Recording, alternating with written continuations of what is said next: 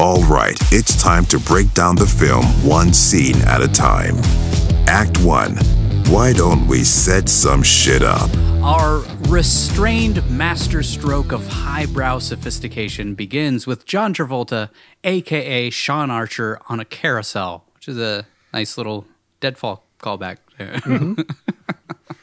he kisses his son on the cheek. Sorry, I was thinking, and a Punisher call forward. Yeah. Yeah, touche. It's a couple of parts that I'll get into when they happen. He kisses his son on the cheek like he's Scarlett Johansson at the Oscars. it's the same kiss.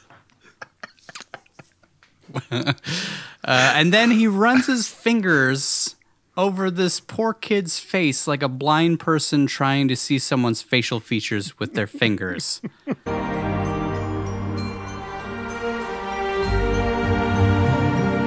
Get used to that sh- weird shit Yeah. because there's going to be a whole lot of it in this movie. Oh my God. It's so weird. Ah, jeez. So weird. What a start. Uh, thankfully, Nick Cage, aka Castor Troy, posts up nearby with a high powered rifle and is hopefully about to put an end to whatever the fuck weird shit is going on on this goddamn merry-go-round. And he looks like High from Raising Arizona. Yeah. He's got the same mustache Yeah. H.I. had. Nick sports a dope ass rape stash. I'm sure 90s women were clamoring to ride while sucking down a big gulp and zeroing in on Danny Zuko. Oh my god. Uh, Troy shoots Archer through the back and right into the pumpkin pie haircut of freak's recently finger raped face. Troy sees the kid on the ground and seems to feel some remorse for accidentally killing the wrong member of the Archer family. So I guess he just decides to get him next time. And he what- just leaves Archer to scream over his dead kid. He he just gets up and leaves? Like, just just take one more walk up and shoot him, or just shoot him again with the gun. Like, gun only have one bullet. Yeah. He's on a budget. Maybe maybe he fell off the other side of the carousel and he couldn't see him. Uh, That's yeah, kinda maybe. I was like in my head, it was like, eh, I'll apply some logic to it. Maybe he didn't have a clear enough shot. It definitely felt like it was on the same side. Yeah, yeah, because he could see he's it happen. staring at him. Yeah. yeah, Watching him cry over his. He only brought son. one bullet, all right? They're expensive. I'm gonna get this guy with one bullet. One shot, one He kill. almost got a twofer. he almost did, yeah. he almost got a double kill. He got the one that counted. We see Troy light a cigarette, and in monologue, he delivers the line All I took from Archer were memories, images, really. They're worth more than any take from any con. They keep me honest. While the uh, carousel spins in the background. the end. Oh wait, that was that was Deadfall. That's how uh, that's how Deadfall ended. instead of instead of instead of picking up the money from the ground, he's just picking up his dead kid's skull pieces like in the background. Scooping up his brains. Oh my god. They're everywhere. We cut to six years later. Sean Archer is in his office surrounded by awards and loading his gun, staring off into space like a weirdo while opera music plays for some reason. I, I- I- hmm. there's a lot of moments that are just like, why? Just cuz? Okay. Mm-hmm. All right. John John Woo likes opera music. John mean, likes opera. Turns out his task force has zeroed in on the location of Archer's nemesis, Castor Troy, who is busy dropping a bomb while dressed as a priest, which was pretty gross to watch, but honestly, it felt like a bold move by John Woo to start the film. it's dro- dropping a, he's dropping a bomb. Chopping a, chopping a turd. He even does a little squat. he does. As he shakes his head. Uh, that's I'm gonna picture. That's how Nick Cage takes a dump. Just squats. Travolta horribly delivers some campy exposition about them being a covert anti terrorism unit with billion dollar satellites, and they'll take a break when the case breaks. Because we're a covert anti-terrorism team that is so secret that when we snap our fingers, nothing happens. Stuff like that. Who's the one who's over the top in this movie? Is it Travolta or is it Cage? They go naked. It They go feels naked. more natural coming from Cage, It does. in my opinion. Uh, meanwhile, Nick Cage triggers the bomb he left and makes a goofy face to himself. Something he does in nearly every scene of this movie. Uh, then the guy who just left thousands of pounds of explosives makes himself as suspicious and memorable as humanly possible. He dances in front of a choir singing Hallelujah, headbangs to the singing like he's at a GWAR concert. And then he just casually kind of rapes a teenage girl in front of the choir, in front of everybody, while screaming hallelujah at the top of his lungs. He tops off this incredible minute of absolutely spellbinding cinema with what is quite possibly the cagiest cage face in the history of cage faces. So it, I Amber started watching it last night after I watched it. And That's what she said. She was like, "That's the most. That's the cagiest moment I've ever seen." It may be, maybe the top cagey moment mm-hmm. of all time. Archer gets a tip that Pollux Troy, Castor's brother, who is named after some bad jokes that were popular in the 80s, I wondered if you're going to look up any Pollock jokes and then just sprinkle them in whenever Pollock shows up on No, the screen. no. Okay, okay. I was going those, to, but Those are dead by the offensive. third act. Uh, Pollux paid for a private jet at LAX, so they head on over to the airport where we meet Pollux. Say, how many Pollux does it take to screw in a light bulb? Three.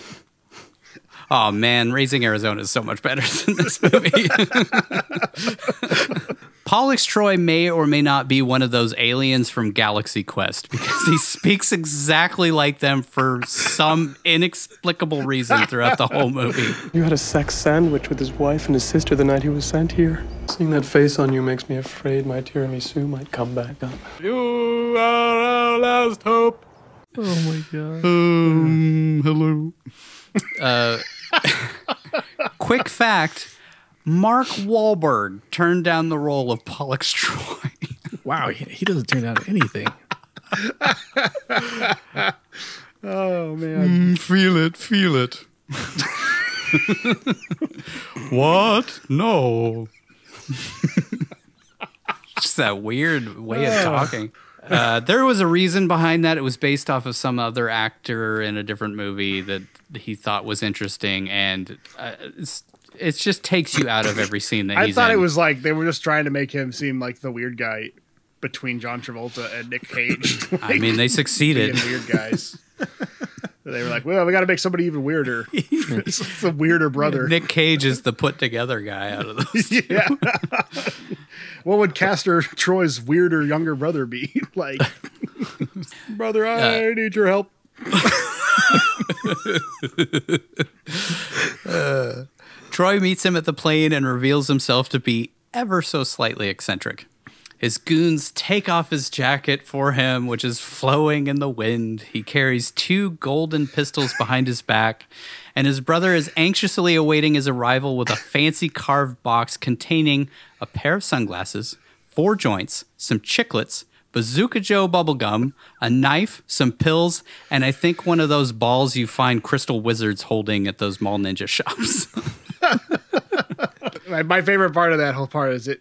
It's part of the opening credits where it says directed by John Woo, and it's like as Castor's getting out of the, the car with the this cloak flowing behind him, like as if you can't tell of- it's a John Woo. and a perfect, yeah. Yeah, exactly. Yeah. In case you had any doubts. Yeah. Is this Michael Bay? Uh, no, definitely John Woo. Yeah, in that you know it was. This was a couple years before the Matrix made long flowing trench coats cool looking, and also killed them for the rest of the action movie genre. Yeah. At least pleather, you know, fakey looking ones. yeah. Well, even in this, like when he's wearing his priest outfit or whatever, it's like the same outfit Neo wears in the Matrix because it was based on like Jesuit priests or whatever. It's Yeah. like it looks goofy in this, looked kind of cool in the Matrix, and then they could never use it ever again. Because it would just be like ripping off the Matrix.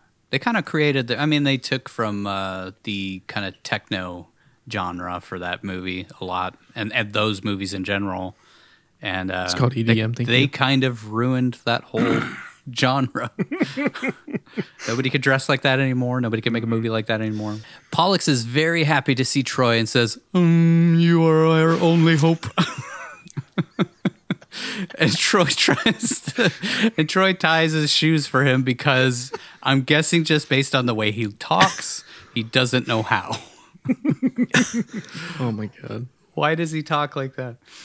Troy plays Got Your Nose with his henchman in the form of a gold dragon money clip of some sort before really weirdly delivering the line, And stay away from downtown on the 18th. It's going to be a little, um, smoggy. That was the uh, the masked uh, influence on this one. Smoking, smoking. it was so weird. On the plane, Castor says, "Let's go, let's go, I'm bored, let's go," and then tells the stewardess to sit on his lap while he says, You know, I can, uh, eat a peach for hours.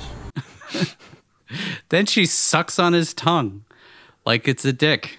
And that's the moment where I was like checking the timestamps how much was left of this movie. Oh God, what have I gotten myself in for? Guys really got a thing for 90s women in pantsuits. Middle aged 90s women in pantsuits because he tries to hook up with like three of them in this movie. Yeah, this movie's already stranger than anything we've ever done, including Willy's Wonderland. Suddenly, Archer's men surround the plane. Oh, wait, no, they all follow behind the plane while Archer drives straight at it like he's playing chicken with it. The uh, tongue sucker reveals herself to be an F- FBI agent and is taken out right away by our film's equivalent to Steve Urkel. It's a bang up job all around. He's an FBI, FBI agent. Shoots him. Did I do Oh, that? Okay. I'm getting it. No, I mean, I was talking about Pollux because Pollux like throws a briefcase at her. Yeah. Oh. I forgot about that. Hmm, I'm so sorry. Archer swerves to avoid hitting the plane when he realizes Troy has his all star agent held so- hostage, but Troy kills her 10 seconds later anyway while making a goofy face. Instead of following the plane after the agent's body hits the runway, everyone, including the helicopter in the chase, just kind of stops to check on her. I'm sure she's fine, not like she fell out of a moving plane after being shot in the back or anything. yeah. Anyway, Sean takes off in the helicopter because John Travolta is contractually obligated to fly something in every film he ever appears in. And he takes off after Castor. He clips the rudder of the plane while Troy is holding a gun to the uh, the pilot's head and says,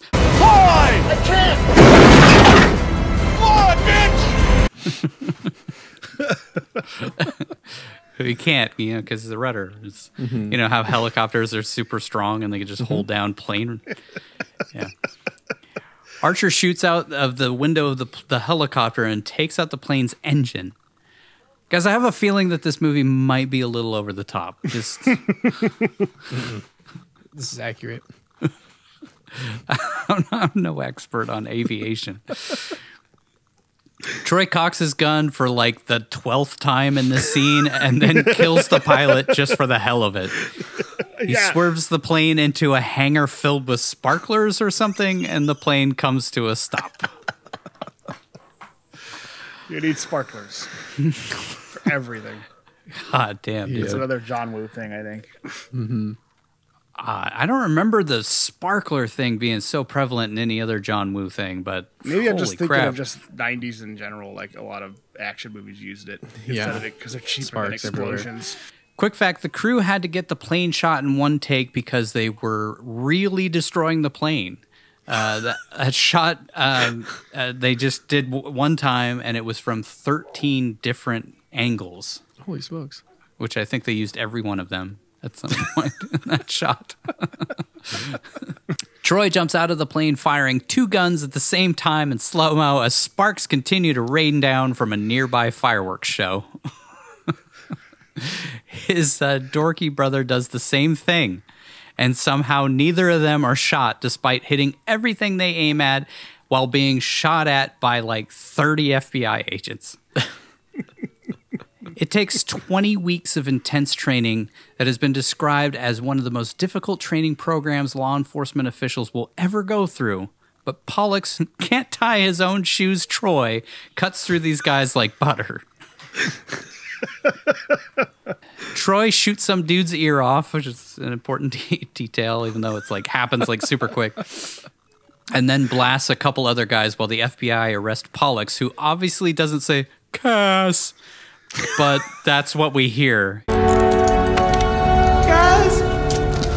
Yeah, if you watch that, it's like, whoa, he did. He definitely didn't say whatever because he says cast because Castor, but he definitely didn't say that. and it's like in slow mo. It's weird. It's a weird shot. Uh, Troy shoots one of Archer's guys, so Archer shoots at him with a spark bullet of some kind, and then they shoot back and forth.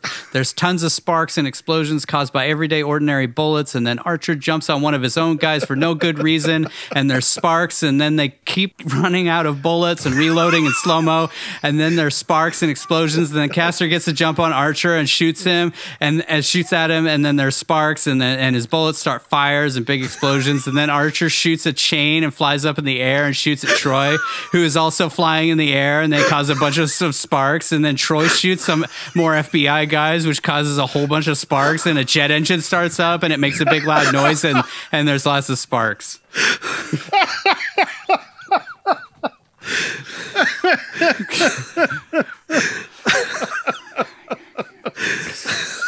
It's just like that little kid who wrote Fast and Furious, man. I can see him metic- meticulously taking those notes, pausing every two seconds to write down what's It's- happening. Play by I play. wrote down exactly what happened in that scene. None of that is made up. It's all then there's sparks and then there's fire and then there's explosion. And then he shoots the chain and goes in the air, and then He flies through the air, but uh, Castor's also flying through the air somehow. There's another part that I wanted to point out, but but you were on a roll, so I didn't. But when Castor gets a shotgun and he shoots one of Archer's guys, Yes, the guy's yes. clearly got a wire hanging down his back, Yeah. and like you see him, you see him run around the corner with the wire on his back, and then Castor shoots him, and then you can see the wire like yank him up into a box. yeah, like twenty feet into the air. Uh. See, nowadays that would be super easy to take out, but I don't even know how they took those out back in the. the I good think old they days. just did the lighting better so that you didn't see it, maybe, and they, Mm-hmm. you know, and they just shot around it or whatever. But it was Mm-hmm. super. Maybe not have the guy run around the corner with it, like hanging from his back before you even Yeah. need a chance to use it. Because if they hadn't had that and just had the quick shot of him getting pulled away, you probably wouldn't have seen it. But There's there's so much insanity in that scene that I didn't even notice that. I didn't see it at all. yeah, So- go back and watch Mm-hmm. it. Um, because I showed, showed it to Amber and I rewound it to it a second because I was like, did I just see a wire? He's got two wires hanging down, and you can totally see it. Troy and Archer get the jump on each other, and both think the other one has one. talking like Pollux Troy now. Troy and Archer get the jump on each other, and both think the other one only has one bullet left. But it's cool because they both have something in common. Wow. We've got something in common. We both know our guns. Fucking I hated that. It's such a stupid line. We know our guns. What? Why would you say that in that moment? I don't know. Troy tries to recruit Sean into his terrorism gang or something, so Archer tells him to shut the fuck up, to which Troy says, You watch your fucking mouth! which comes back. He needs to do that in the, in the prison or whatever. Troy says Archer wouldn't know what to do with himself if he puts uh, Castor in prison, and then asks if Archer's daughter is ripe yet. Oh, like we haven't asked all of our friends the same questions. then he barks at him like some weirdo ambulance dispatch manager.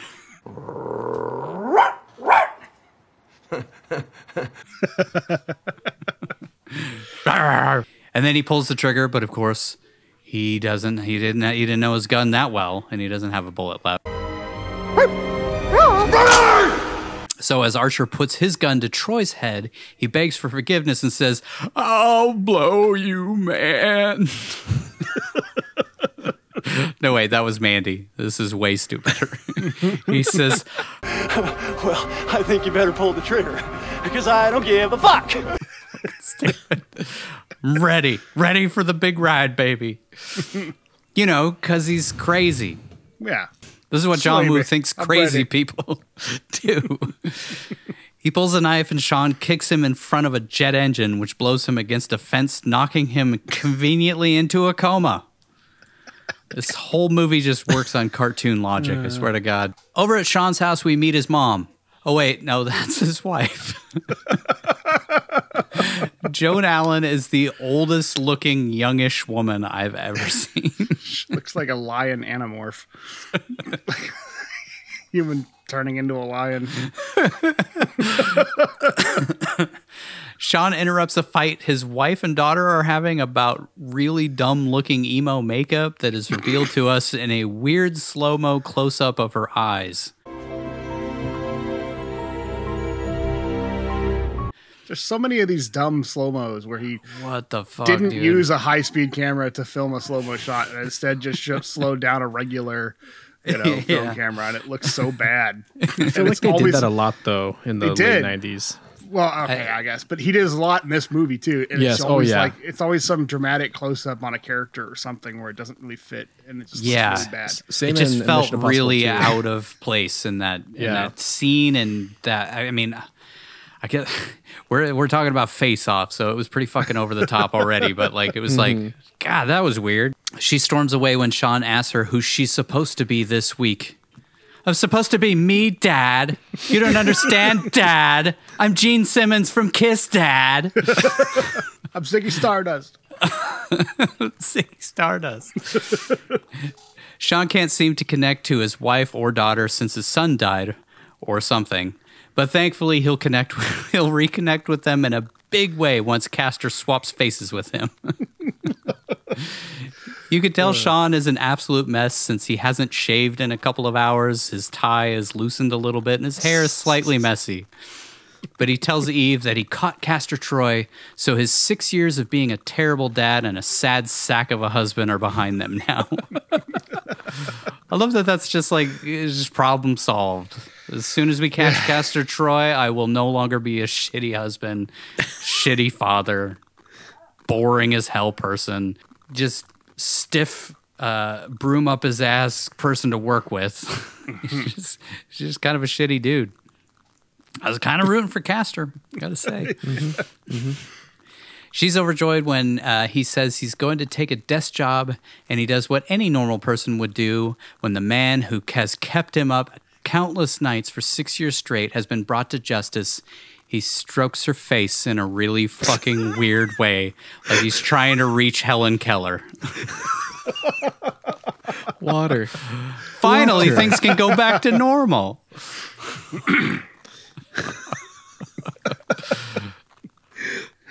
Uh,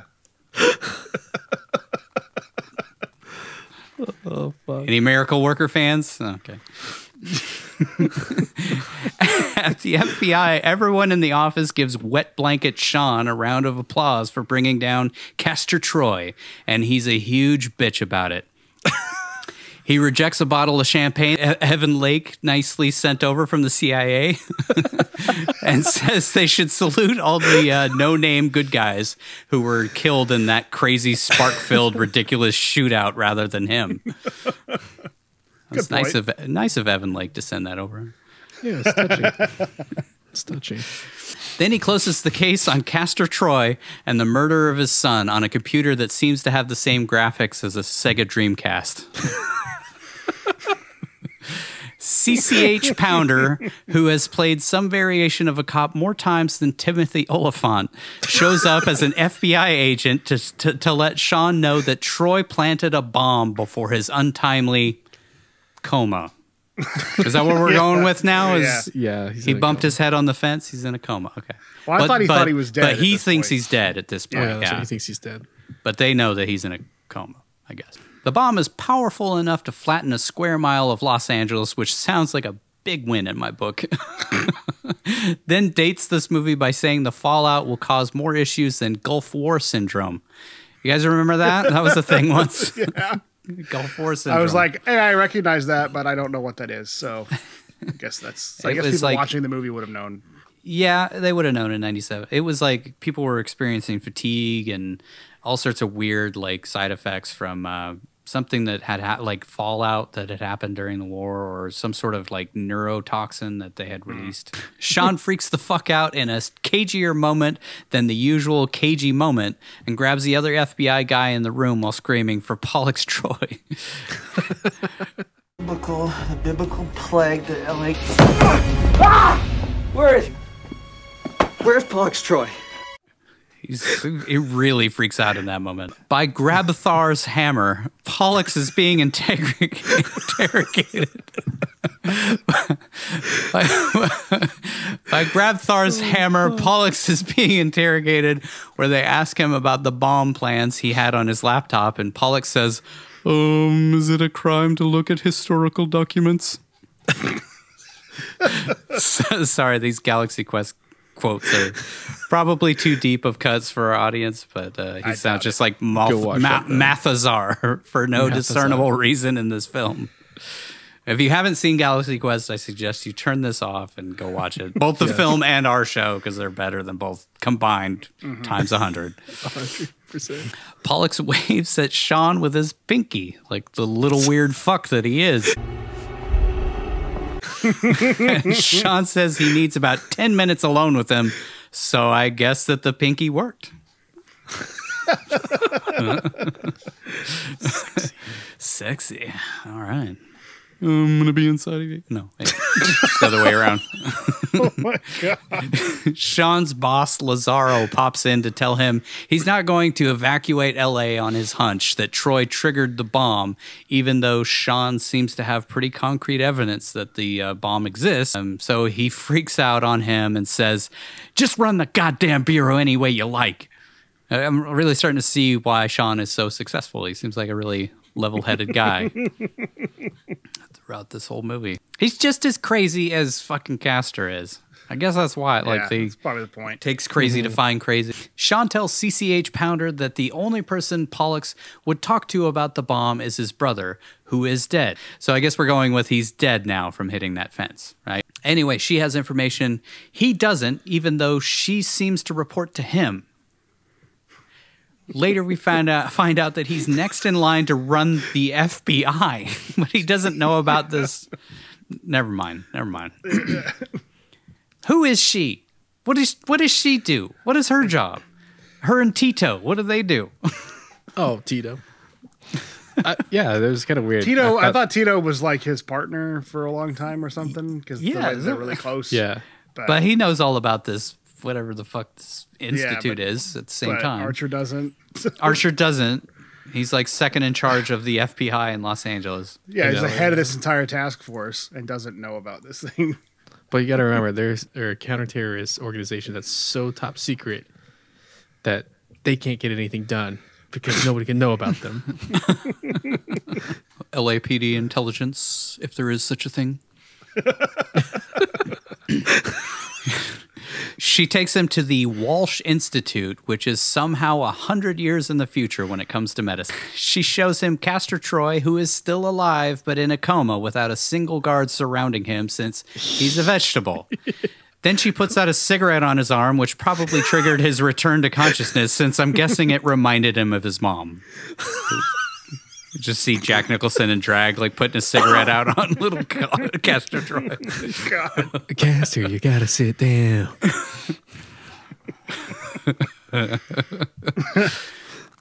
I guess I should call CCH Pounder by her character name, even though I don't think anybody ever says it. But her name is Hollis. Hollis. Hollis asks Sean, "What if you could walk into Erewhon Prison and give Pollux a big brotherly hug as Castor Troy?" He looks at her like she's fucking stupid because that sounds like the dumbest possible premise for a cheesy, over the top action movie. But no, unfortunately, she's 100% serious. Dr. Walsh pops in the room and tells Sean they can alter people's faces and vocal cords and even 3D print a new ear for that gay guy from American Psycho. Did you notice that was the gay? what medical wonders? They He can do pro- that now, though. By the way, Can they? yeah, they Like can 3D, print, a, an ear? It's organs and stuff. still like Transplants. really? Wow. Yeah. Okay. Mm-hmm. I mean, it took almost what thirty years after this, Yeah. but they can do it. It's in its infancy. Maybe they were inspired by Face Off. They definitely were. He proposes they remove his face and put Castor's, Castor Troy's face on his body. Yep. And they'll change his hairline, body hair, and even make him less fat. And presumably swap their penises. Uh, Everything. Well, it's been a while. It's been two months. She forgot Otherwise, some, uh, like. some stuff in the movie doesn't make sense later on. But it's been two months. She forgot what it felt like. I don't remember that mole. They'll even use science to put a state of the art morphogenic template on his skull so his Jay Leno looking chin will look more like Nicolas Cage's somehow magically. Did they like shave off the bone? Uh, the whole time this is going on, Sean looks at these guys like they're idiots and says he'll do some crazy shit like using actual interrogation tactics to get the gang to talk. But Hollis is having none of that stupid bullshit. Tearing his face off. That's the only way that we're going to stop this bomb. I love how smug she is in every scene. Like, of course, sure, that'll work you know, actual police work. Next, we see Sean cause the guy who got his ear chopped off in Reservoir Dogs to shit his pants from interrogating him. Uh, I guess yeah, that was that was the guy who's like, "Rip my fucking ear off." He threatens Castor's ex by saying he'll have her, her son put in a foster home if he doesn't talk. So she shits her pants. I don't know. Uh, I can't wait to meet that kid. That kid is my favorite part of the whole movie. Your Fucking description of it was so Next, he questions the guy who directed The Notebook, who sports a uh, goofy coat and a shaved head. He gets real intimate with this guy and talks to him from about two inches from his face, like he's about to get Shorty out of his pants. but before he can, this guy, who is the previous girl that Sean questions' brother, just so we're clear, um, asks him how his dead son is, which causes him to throw the guy to the floor and put a gun barrel in his eye socket. Uh, quick fact Nick Cassavetes actually surprised John Woo by shaving his head for this role. And Woo said it was exactly what he wanted. He didn't even ask him to do it, but he just showed up with a shaved head. okay. Can't possibly be a bad guy in a movie unless you got a shaved head. I guess. Yeah, he's gotta gotta look evil, and he dresses like a fucking. It's like a cross between like a Muppet and a Bond villain. uh, this guy's named Dietrich. Uh, Dietrich tells Sean that he heard something about the 18th of whatever month it is. Well, that's all he knows. Sean asks Hollis if she's told anyone about the ridiculous face swap idea, and she says it's a black bag operation. I don't, I don't know that that's a thing. Maybe I don't know. so no one can know about it, including the head of the FBI or Sean's wife. No one can know about it. Only these Convenient. two agents. Mm-hmm. Yeah. And the entire lab that does it. Yeah. Yeah, I'll get to that. Sean says, What are you asking me to do? Break the law, risk my own neck, and put all the people who love me and trust me in the dark? And with like two seconds of thought, he says, I'll do it. For some reason, the only people at the FBI who know about this operation are these two agents, are uh, uh, Hollis and Tito. Tito. Coming this fall at the CW, Hollis and Tito. Oh, so Tito. Those are the only people who know about this, okay? All right. So we're clear, the whole FBI. Nobody knows about this except for these two people and now Yeah. Sean. As if they'd been prepping for this exact scenario for how many years? Yep. Like, why do they even know about it in the How did they even find out? Oh, okay. Anyways, Sean heads home to his wife to tell her he's uh, going back undercover. She tries to initiate some sexy time, but Sean shuts her down when she strokes the scar on his chest, which was the uh, exit wound for the bullet that killed his son. Sean laments that if the bullet was only an inch over, he would have died instead of his son. I hate to break it to him, but if that kid knew how many creepy face gropes he avoided, he might have volunteered for that bullet. I'm glad we've moved past the dead baby jokes. We're really matured. He tells Sean that everything will magically be better now that Castor Troy is out of their lives and gives him a taste of his own face groping medicine. what in the goddamn hell is with this family? What is that? Oh, I don't know. It's not a normal thing anybody does, so I don't know why it No became one. a linchpin No. for this, the emotional through line of this movie. Yeah, he did. He's Just gonna do uh, there. He's Yeah, back. you, you can you can insinuate that you're you're being face groped by me right now. You too can now feel like you're being face groped. Our audience has been face groped. She, he breaks the news to her that this thing with Troy won't fully end until he does one last thing. We cut to him having sex with her while she wears a Nicolas Cage face mask. No, wait, that's just a fantasy that I had. Travolta having sex with his wife with Nick Cage's Nick like Cage's face, face. mask, like Halloween mask on. oh my god, it's so weird. I love it. Eve gets super upset uh, when he's saying he's going on one last assignment, and his usual tactic of stroking her face like a fucking weirdo doesn't work this time around. She tells him to GTFO, so he heads to get his face torn off. At the institute, Sean asks the doctor to put the scar back. Uh, that is a daily reminder of his dead son because it's important to him. And the doctor says, sure, because this guy can do literally any magic medical procedure the script calls for. Sure, I just put the scar back. All right. Yeah.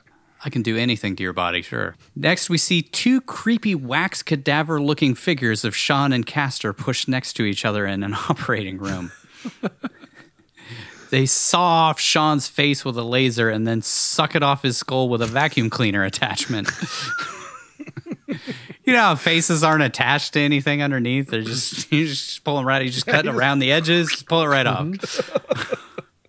They dump his face in some of that blue water barbers keep their combs and scissors in. and it just kind of floats to the bottom like a rubber Halloween mask, no blood. Just just like the mask. It's the guy who wrote the mask. Mm-hmm. Mm-hmm. Mm-hmm. we all wear masks. They give him a nice little haircut inches away from his exposed skull, but it's cool because they put some gauze on it or yeah, something. it's super sanitary. Cutting hairs all over. just give him a haircut right there. This gaping, missing face wound. How the fuck did they make uh, Castor's hair grow out to be John Travolta's hair? Though just Uh, lasers, plugs. just Just Yeah. Yeah, they said they were going to use plugs, um, Mm-hmm. at least on Sean's body to make him look like Cast. I don't remember. They mentioned plugs Uh, they and just- micro plugs for the body hair and stuff. Okay. So. well, they cut away they when uh, when Castor, actual Castor, gets turned into Sean. Take a fucking guess when his face is ripped off. Yeah. Then they use a laser to change his hairline because if movies have taught me anything, lasers are magic. Just lasers. any, if there's something you don't know how it would work, just laser. Lasers. They cut Castor's face off and add in a jump scare of Castor with his eyes open on the monitor for no goddamn reason. and slap it on Sean's body, which fits on him perfect after they smush it around like Play Doh for a second. Uh, Sean wakes up and to his horror or delight, he's been transformed into Nicolas Cage. Yeah, it's weird. weird reaction. Uh, he takes it pretty well. He smiles to himself in the mirror, then smashes it and says, Fuck you! Fuck you! Fuck you! Before Tito reminds him he's Sean Archer. I, I don't think that's why he was upset in that scene, Tito. Obviously, he's upset because he sees himself as the man who killed his son, not because he doesn't know who he is. Or does he? You're Sean Archer. Don't you forgot who you were because we did a surgical procedure. I don't know. This movie's dumb. he says he wants them to take Castor's face and burn it when this is all said and done, before noticing he still sounds like John Travolta. Next, we see Still Nicolas Cage. Oh my God. ah, jeez. Next, we see Nicolas Cage singing "Go Grease Lightning, Go Grease Lightning." Go. Sorry, it's also a fantasy that I had. They use a computer called a Tektronix TLA 704 that looks like it's well straight out of the 90s to create a chip that perfectly mimics Nicolas Cage's voice, which the doctor explains any pressure, sharp blows, or even a violent sneeze will cause it to become dislodged. Even though he literally gets punched in the throat in every other scene for the rest of the movie. Until the script calls for it. Until the script calls for it. And then he just kind of like goes like this and he's he's able to talk normal for a second. Which, if you watch that final scene after he damages the chip, he he goes back to being Cage, and then to Yeah. Travolta, then Cage, and Yeah. he makes him say, "Peach, I could eat a peach for hours." In order to train his new voice microchip. This movie was 100% meant to be a comedy from the very beginning. There's nothing you could tell me to convince me otherwise. This was supposed to be a comedy. It's fucking ridiculous, man. It's now six days until the bomb goes off, so they send him straight to prison so he can get Pollux Troy to give up the location of the bomb. Sean is transported by a helicopter but stops to rub his face on the wall for a minute since it, it itches. It itches, dude. It's, And then Tito helps him scratch it by just kind of like rubbing it. yeah, it just with rubs His thumbs. It's like that scene in Mrs. Doubtfire. Maybe that's where they got the idea. Probably.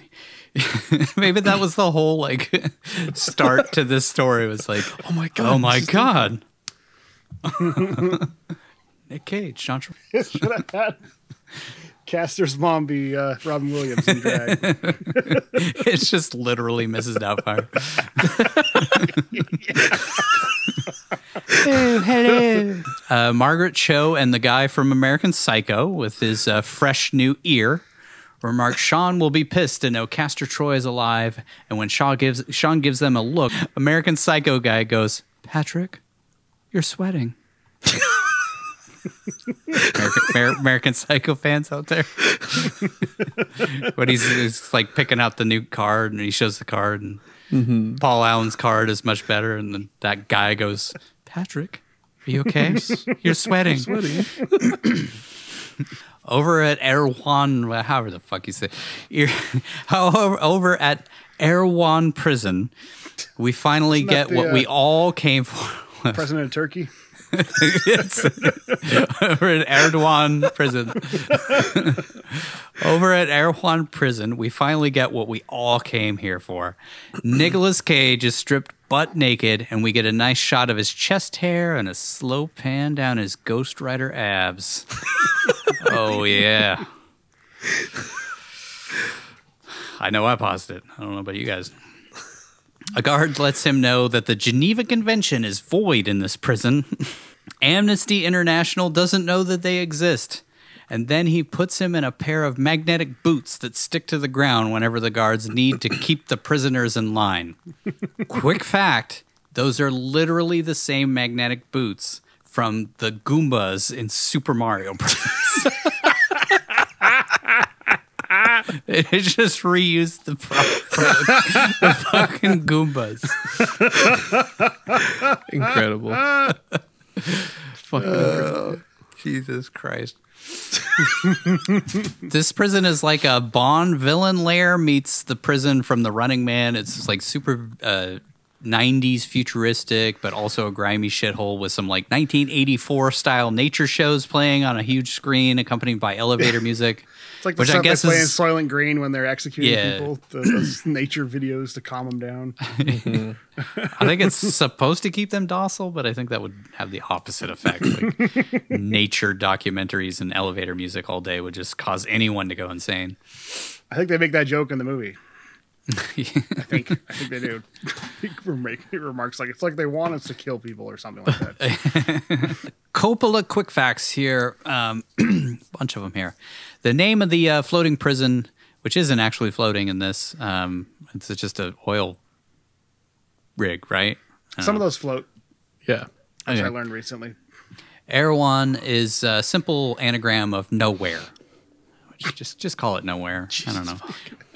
Erewhon Prison is a reference to Samuel Butler's Erewhon, uh, about a city in which the protagonist is imprisoned and in which many of the normal rules of society are reversed.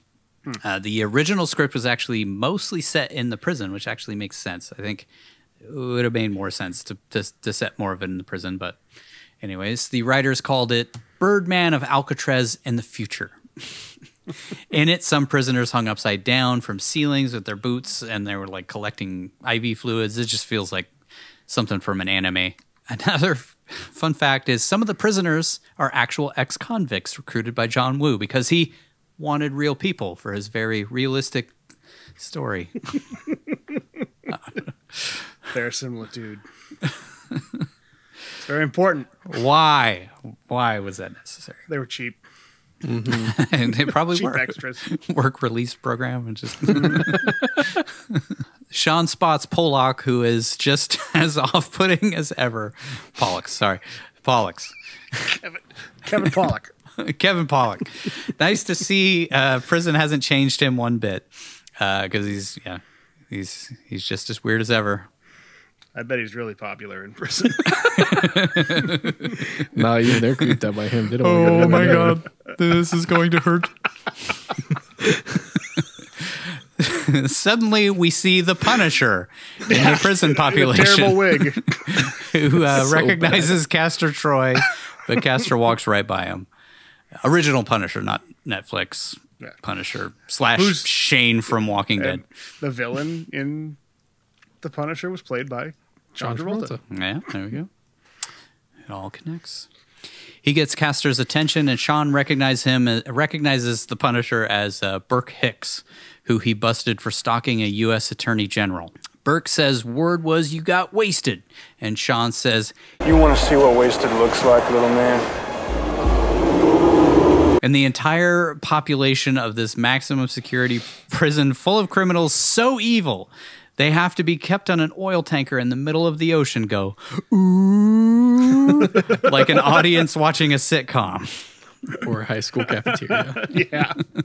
uh, i mean everybody there presumptually had to have done something really terrible to get there right Yeah. this is Like, like, their senator. yeah this is like the the new version of alcatraz except Yeah. Off the books and Mm-hmm. nobody knows about it except prison. for Tito and Hollis.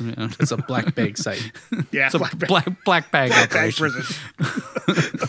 A different dude attacks Sean or Castor. What the fuck should we call this guy? just, just Sean. I'll just go with Sean. The guard lets the inmates beat the shit out of each other for a little while this guy wails on Sean, throwing him around, punching him in the stomach, bashing him in the face, and throwing him to the floor. So I guess it's safe to say that that voice microchip is just toast. nope, totally fine.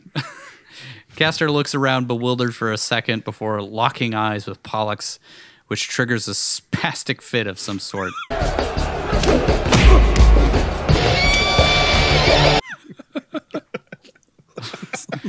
he smiles crazily and opens his eyes unnaturally wide before beating the guy who jumped on him with his Goomba boots. Hits him with a tray while saying, You watch your fucking mouth. You watch your fucking mouth. He was a callback to the opening scene. He beats the dude up for a bit and screams, I'm Castor Troy, with a crazed look on his face that occasionally switches to a kind of laughing, crying. He's real conflicted in this moment. I love that look on his face, though. That, like I said, that look is uh, my my feelings towards this film. Like just like crying, woo! like it's fun, but also painful at the same time. As he's about to kill a guy with a lunch tray, I guess he remembers who he really is, even though absolutely nothing about him is different mentally. Now that the fun is over, the guards lock down the prison and zap Sean with a cattle prod. Oh, I'm being lifted. I'm the You baby now.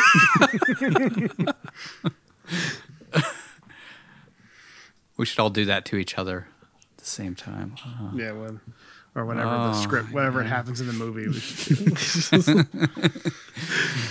over at the completely unguarded Walsh Institute, where one of the most dangerous criminals alive is in a coma, the real Castor Troy suddenly wakes up bolt upright like he's Michael Myers and unwraps his bloody head. He takes a couple fingers to his face and realizes it has been completely replaced with raspberry jam. Only one man will give me the raspberry. He lets out a few goofy screams.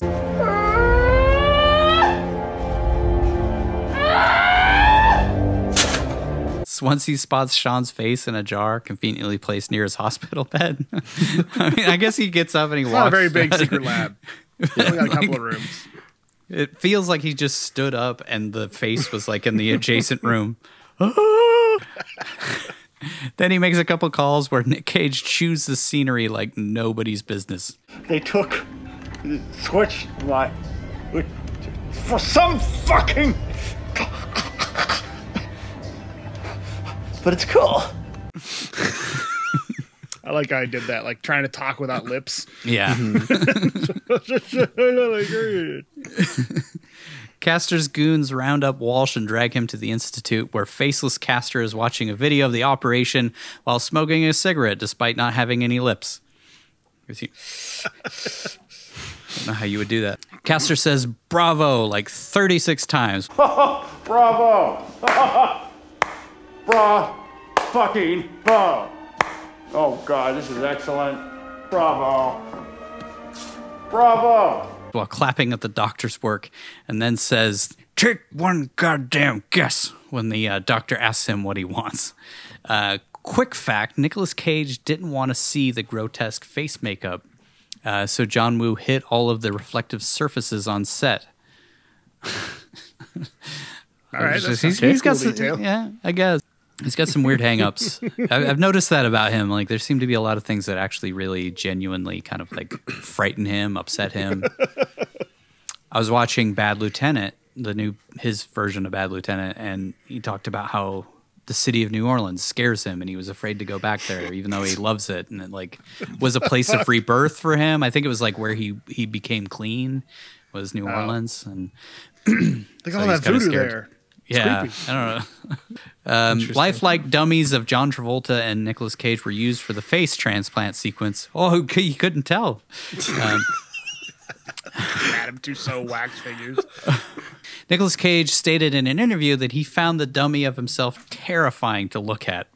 Same, Nick. Same. Act 2. It's about time we had some conflict, wouldn't you say? Over at the prison, Sean asks Pollux for help since he's not firing on all cylinders after being in a coma. He asks Pollux if he's been taking his medication, and Pollux tests him by asking what medication he takes, since apparently in this bizarre world John Woo is imagining, people perfectly impersonate other humans all the time. I mean, to be fair, I'm sure Pollux saw Mission Impossible and wouldn't put it past the FBI to make a mask of his brother's face and use the same weird voice tech to trick him into giving away secrets. Didn't even think about that. It's true. Sean knows every detail about this dude and his brother since he's been fapping, I mean, studying them every day for six years. Which one of these guys is the psychopath again? Uh, Sean or Castro? Castro. Or Castor. Sorry. Sean asks Pollux why the guy jumped him earlier, and he says Castor had a sex sandwich with his wife and his sister the night he was sent to this prison that no one knows about in the outside world. You had a sex sandwich with his wife and his sister the night he was sent here. Sean then says, We're gonna blow up LA, bro. Ain't it cool? Which is, uh, that was the callback to The cat's knocking stuff down again. Well, that's a callback to the time the cat knocked down a poster. nope. I Yeah. can't do it without. I was gonna say it's a callback to Broken Arrow because it's what Travolta said in Broken Arrow. Broken Arrow.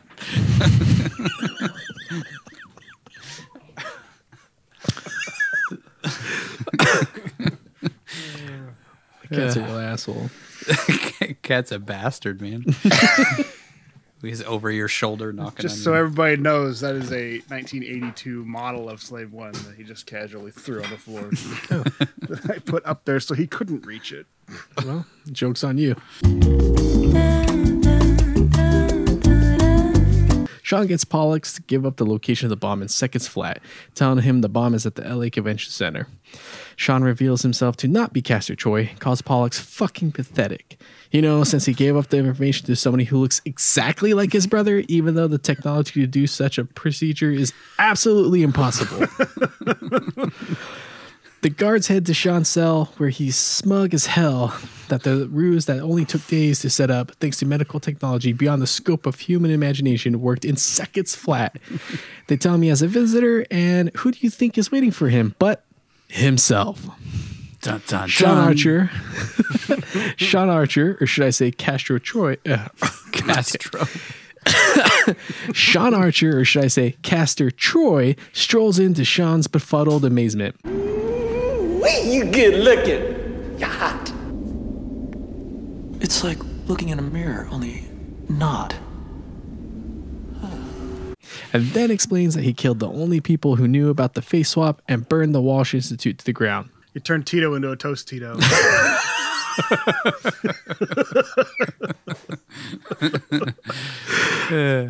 At this point, I'm like, whoa, whoa, movie. Just so we're clear, Castor found the only two FBI agents who knew about the secret mission, even though no one else at the FBI knew anything about it. All of the doctors who performed the operation and everyone who worked at the Institute and burned them to death. To which the movie says, yeah. he rounded them all up in one night too. yeah. He's got some pretty efficient goons, you know. That's why But he's he's stayed off the radar all these years. Is you Oops. know, he's got good Yeah. people working for him. He's got, it's, you know, he's got some good goons. Some good goombas. Got a great recruiting program. the Goombas. the Goomba program. the goomba program. Castor says he torched all the evidence that proves this version of Castor Troy is actually Sean Archer, and then lets him know he's headed to Sean's house to rape his wife. Shit gets real dark real quick. the guards burst in when Sean tries to choke Castor, since I guess they were listening from the next room. Uh, I mean, wouldn't they have heard the that Castor is Sean and Sean is Castor? It's best not to think about these trivial things and just buckle up for the ride. Another throat injury that yeah. shrug off and it doesn't mess with their voice box. Yeah, totally vo- fine. yeah, Both of them, yeah. Their voice are totally normal Why did they even put that in? I don't. Because it's just Because there's that one action. point Yeah. the climax the very it end. switches off. After three weeks of punching his larynx, suddenly. They choke Sean out, and Castor is released into the wicked world where he heads straight to Sean's house. You can really tell what an edgy guy Castor is since he's blasting INXS the hardest rock band Australia has to offer. I need you tonight. this is a real accidentally tried- badass, man. So speaking of choking, didn't the singer of INXS die from autoerotic asphyxiation? Allegedly. Allegedly. He accidentally drives by his house where his frigid wife is waiting anxiously for him to come home and rub his fingers on her face. he checks out his old young woman wife and eye rapes her like she's Heidi Klum. she asks how his vital assignment went, and he says, Oh, the out of body experience went great. or however the fuck he says it. Oh, the out of body experience. A sex sandwich. Sorry. he tries he tries to get kinky with her by calling her a peach. Works every time. But she resists his charms even after he says, I hate to watch you go, but I love to watch you leave. It's like Great line. It's like a 15 year old trying to pick up a girl at a bar or something. I don't know. Not figured out that her husband's acting like a completely different human being. Yeah, completely different.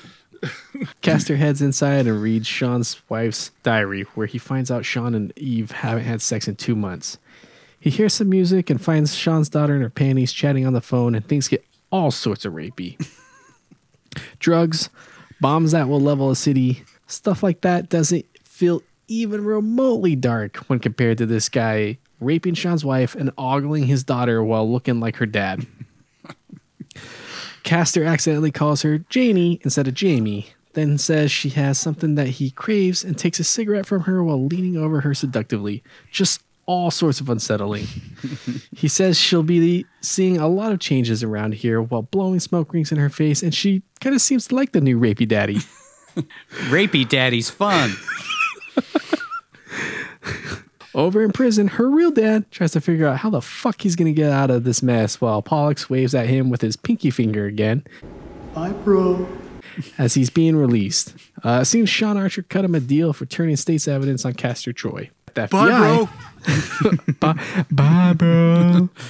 I won't have to Now- be using this anymore. now that I'm getting out of prison. It was the French tickler. Over at the FBI, Pollux dances and sings opera while eating tongue sandwiches. Uh, this movie just gets weirder and weirder. Margaret Cho tells Castor she's sorry about Tito, but I guess no one gives a shit about Hollis. And then he says, Oh, hey, shit happens, you know. the head of the bureau pops in and is perturbed that Sean made a deal to have Pollux released. Castor pops in to have a chat with his baby bro, who continues to talk like an alien from Galaxy Quest, saying that Seeing that face on you makes me afraid my tiramisu might come back up. Castor has a similar sentiment, saying, Think about having to look at Sean's dumb nose, hair which I'm guessing they grew out with a laser, and his ridiculous chin every day. Quick Big fact. Guy. John Travolta asked the writers if they were making fun of him with the ridiculous chin line. They explained that Castor was such a narcissist he would hate having anyone else anyone else's face. I do think that they were making fun of his, his chin. it is a weird Yeah, I was, I was watching that. I was like, do you think uh, I think Travolta liked making fun of his own face in that scene, or was he just you know a good sport about it? I was a heartthrob. Oh my god. Castor tells Pollux they're going straight and asks him to confess as to the location of the bomb so that Castor can go find it and be the big hero. He heads to the convention center where he groped that choir chick and defuses the bomb after telling the bomb squad to evacuate the building. Over at the prison, they decide to give the inmates a nice little break from the Nature Channel and instead show a news story about Sean Archer disarming the bomb and saving the city of Los Angeles, where Travolta delivers the line, Interception. Now our side's got the ball. Sorry. As the real Sean looks on. Fun fact they gave this script to a very prominent script doctor who did some touch ups in the summer between fourth and fifth grade. Like, why, why are they showing that to the prisoners? They- Probably just to rub it in Castor Troy's face. yeah. yeah, yeah, probably. We cut to Sean in his cell crying while jacking it, thinking about this guy destroying his life. We see Castor embracing the applause of his colleagues at the FBI, unlike the real Sean, while he dances around and apologizing for being an insufferable bore all those all these years. It does look He like he's a call- it in that scene. I don't He does.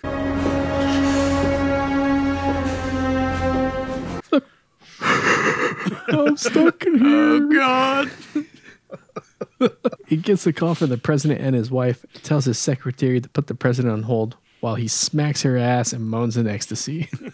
He was he kind of was supposed to do the same like face that Cage did, but he, I don't feel like John Travolta quite caught that same level of He insanity. not. He did not. It was not the same. At home, Eve shows up to find a candlelit lobster and spaghetti dinner with the beautiful piano strokes of Chopin's Raindrops Prelude, OP 28, number 15, playing in the background. See, we here at One Cage at a Time are cultured. Eve begins to notice how That joke different doesn't he really is. work if you mispronounce his name. Chopin? Is it Chopin or Chopin? Chopin. Chopin? Or, or Chopin. All right. Chopin? Say like Chopin or Chopin. Chopin? I don't know how the English say it. How do you say it? Oh, fuck it. Eve begins to notice how different he is all of a sudden. But before she could think about it, Castor Troy just straight up rapes her. Uh, so okay, I guess we're not super cultured, but uh, we are somewhat. So do we get some points for that? Chopin. Uh, Chopin, Chopin? Chopin, Chopin, to Chopin. Is it Chopin? It's probably to get Chopin. into his wife's Chopin suit. you know what I'm saying? Back in prison, the real Sean asks the Punisher how he can escape from this crazy prison. And he explains the only way to get out is to have his boots removed, which they only do while giving inmates some sort of crazy shock treatment that turns your brains to shit and makes you puke all over yourself. So Sean beats up a bunch of guards and they take him straight to the place where they shock you. I mean, didn't that other dude get like three strikes before they took him there? Yeah. Yeah. I think they, was, they said that the thing with um with Castor or with Sean earlier was strike number two, and you get three strikes before Yeah. they. But what he's saying is that guy got to the shock treatment after three strikes. And they sent Castor there. They like- sent Castor Yeah. there like right away. Right away. Or maybe he's on three strike because he had the fight that he also tried to kill Oh, Sean good Archer, point. and then this Good was him point. trying to attack a guard. Yeah. That's a good point. I, I didn't expect there to actually be some logic behind that. They take Sean's boots off and put him in the electric chair where Joe Bob Briggs works as the executioner for some reason. Yeah, I thought it was the Surgeon General from Escape from L.A., who I think was played by uh, Bruce Campbell. Oh. yeah. That was Joe Bob Briggs. You know who Joe Bob Briggs is? Was- Yeah, was that really him? yeah, that was Joe Bob really? Briggs. Fucking weird. like, I know he had an acting career, but I didn't really That's awesome. just randomly there. Sean is the guy who just who was just electrocuted and still covered in puke that he didn't sleep with his wife and didn't touch his sister like Pollux said he did, and says he knows his wife loves him and is waiting for him, so they might as well get the hell out of here. This is good enough for I don't get the sense that you can leave this prison. Honestly, I, No. this is forever. Yeah, this is like you're there forever. It seems too easy uh, how they how he gets out. It's like very Yeah. convenient that he's able to like navigate this prison he's never They been in him and into knew a nothing about. and then had to pull something out of their ass to get Yeah. out. Sparklers, more sparklers. Used a lot of sparks, man. This is good enough for this half vegetable to hop right up and attack the guards. He and Sean beat up the guards and fight their way out of the room while prison guards shoot and miss with every single shot. Sean shoots at a guard who must have been a robot because sparks fly everywhere. that is no joke. I think what they were trying to go for was like he hits the railing behind the guy because they like they sort of try to make it seem like he doesn't kill anybody, Yeah. but at the same Yeah, time, kind of- sure seems like he killed a lot of people. Yeah, it definitely does seem like he may or may not have killed some people, but they kind of play it off like he's just shooting to injure or shooting to deter them. Mm-hmm. It's ambiguous. Another guard shoots at Sean, who's literally just rolling around on the ground in the corner while this guy shoots at him with a machine gun that also seems to only fire sparks. Sean takes out like five guards with a rolling medical table, then shoots a bottle of sulfuric acid, which kills another guard. I mean, it definitely fucked him up, but I don't know if it killed him. It's unclear Disfigured him as for how. life. Sh- yeah. it's unclear seeing as how Sean is adamant about not killing any of the COs. But if he did end up killing these guys, is he gonna get in any trouble for killing them once he once his identity is revealed and he goes back to being Sean Archer? Shoots a Or bunch of gonna- FBI guys too. So yeah. All the other inmates riot, despite the fact that the guards could have just magnetized the floor. But Sean and the guy covered in puke break into the guard station and kill all of them but a couple guys. He disables every single locked door in the prison with a couple keystrokes and overloads the system, which causes everything to turn into a sparky fireworks show while Pukey gets stabbed and then shot. He falls off a high railing, but Sean grabs him for like a second, and then the dude just falls to his death. The whole prison devolves into chaos as the inmates beat up the guards and sparks fly everywhere for absolutely no reason. It's like uh, Shot- Michael Jackson doing a Pepsi commercial. Level sparks showering everywhere. Uh, Sean makes his way outside where he finds that he's on an oil rig in the middle of the ocean. A helicopter shows up because why not? And they open fire on him. Sean runs around the rig getting shot at until a barrel of some sort catches his shoes on fire and he suddenly begins his transformation into the Ghost Rider. he finds a nearby minor motorcycle and drives it across the ocean like a ski jet. He's ready to, to avenge some souls.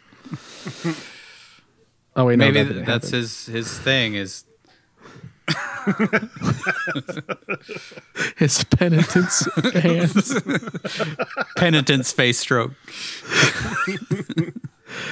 Actually, he jumps hundreds of feet off the oil rig into the water and somehow manages to remain undetected by the helicopter and eventually swam multiple miles to land. Somehow, this is less believable than being able to switch faces with somebody. There's also like boats circling the thing too. Like they watch him jump Mhm. off. It's okay, you know. You could just swim underwater for a while. I guess. For a few Maybe there miles. was a diver down there, like in when he jumps into the Hudson. I guess, or maybe he did the uh, he took the David Blaine breath holding class. we see Castor hanging out with Sean's wife, who he just raped. Just a reminder in case you forgot. they head to the cemetery to visit Sean and Eve's son's grave since it would have been his birthday had Castor not blasted the kid's head off like he was JFK. Eve breaks down. Let's just keep picturing the, the scene from Deadfall. Dad picking up the money, but it's his kid's skull fragments. picking up his skull fragments. Oh my god! Trying to put it back together. They're everywhere. Oh. Eve breaks down and Castor looks somewhat remorseful. I'm guessing since he's been forced to think back on that day, he's more mourning the loss of his sexy Tom Selleck mustache rather than the kid. Can't blame you, Nick. He heads to work where he finds out Castor Troy was killed, escaping from Erewhon prison. Uh, I mean, he must have died since it's absolutely ridiculous that he might have survived that jump and then swam in broad daylight miles ashore without being spotted. Anyway, the real Castor asks to see Sean's body, and Margaret Cho says it hasn't been recovered yet, to which Castor says, It hasn't been recovered yet? So I'm guessing he's not buying Sean being dead. If I had- Hasn't been to guess. recovered yet. Fucking whoa. Okay. Tell you, Travolta did a way better job doing it. Oh, he yeah, he went cage. Cut to Sean being totally alive and absolutely fine. He steals a car from a valet key box. Uh, what, just so that you guys know, movies are why I will never trust my car with a valet. That and because I don't have any money to. but it's also nice to see a glimpse of Memphis Raines before he went legit and dyed his hair blonde for gone in 60 seconds. he heads to the hospital his wife works at, calls her from the car phone, and warns her that the man she thinks is her husband is an imposter and to take Jamie and head to her mother's. She, of course, dismisses him and hangs up, so he just leaves. Uh, like, what was the point of him going to the hospital in the first place if he doesn't even go inside? That's how phone works. You know, you, you just have to get close to the place you're calling. It's like a walkie-talkie. You got to be close. Like, was he expecting her to be like, "Okay, I believe you. Come on up." Yeah, come pick You me up. come on up. Yeah. He I'll calls, give you a ride, but I look like the guy who killed your son. he calls the head of the bureau, but is transferred to, you guessed it, Sean Archer. Sean says, Well, if you're Sean Archer, I guess I'm Castor Troy, confirming to real Castor that Sean is in LA and now he can send the entire LAPD and FBI to look for him rather than have doubts as to whether he actually survived that completely ludicrous prison escape. Sean heads to Dietrich's place. You remember the bald guy who directed the notebook, where Dietrich is overjoyed to see him since he figured Castor was dead. He asks him what's the matter since he looks like he just fucked his own mother. I'm not saying he's wrong, but I think if I fucked my own mom, I'd have a slightly different look on my face. Thanks. God damn it. I fucking hate that you're making me say this. but I think if I fucked my own mom, I'd have a slightly different look on my face. Thanks to the mirror above my bed, I know exactly what face I make when I. You know what, guys? Never mind. Uh, you're welcome. Dietrich has a pretty sweet pad, really nicely decorated, tasteful yet elegant, with all sorts of people milling about having a great time. I half expected Mohammed Banir to offer him some tea. Sean is welcomed into the group with some coke, a couple sexy girls, his custom gold guns, and his weird mall ninja box, some Alka-Seltzer that makes him a little loopy. All in all, you couldn't ask for nicer people to hang out with. Actually, it's uh, shit's so good it makes your dick hard. That's what Dietrich says about it. and it's just a little blue pill, so maybe it was just Viagra. Yeah, maybe. Probably. They're just partying on Viagra. This party's so good, it'll take your tits off. Take your tits off. Take your face off. He asks Dietrich to help him get Sean Archer, and when Dietrich asks why he doesn't just leave the country, Sean responds by saying, Sean Archer, damn it. he then gives this room full of bad guys his own home address where his wife and daughter are currently at, as well as the code to his security system. He says he knows so much about Sean Archer because he sleeps with his wife and then gives a fun little sad cry smile that turns into full on hysterical laughing. I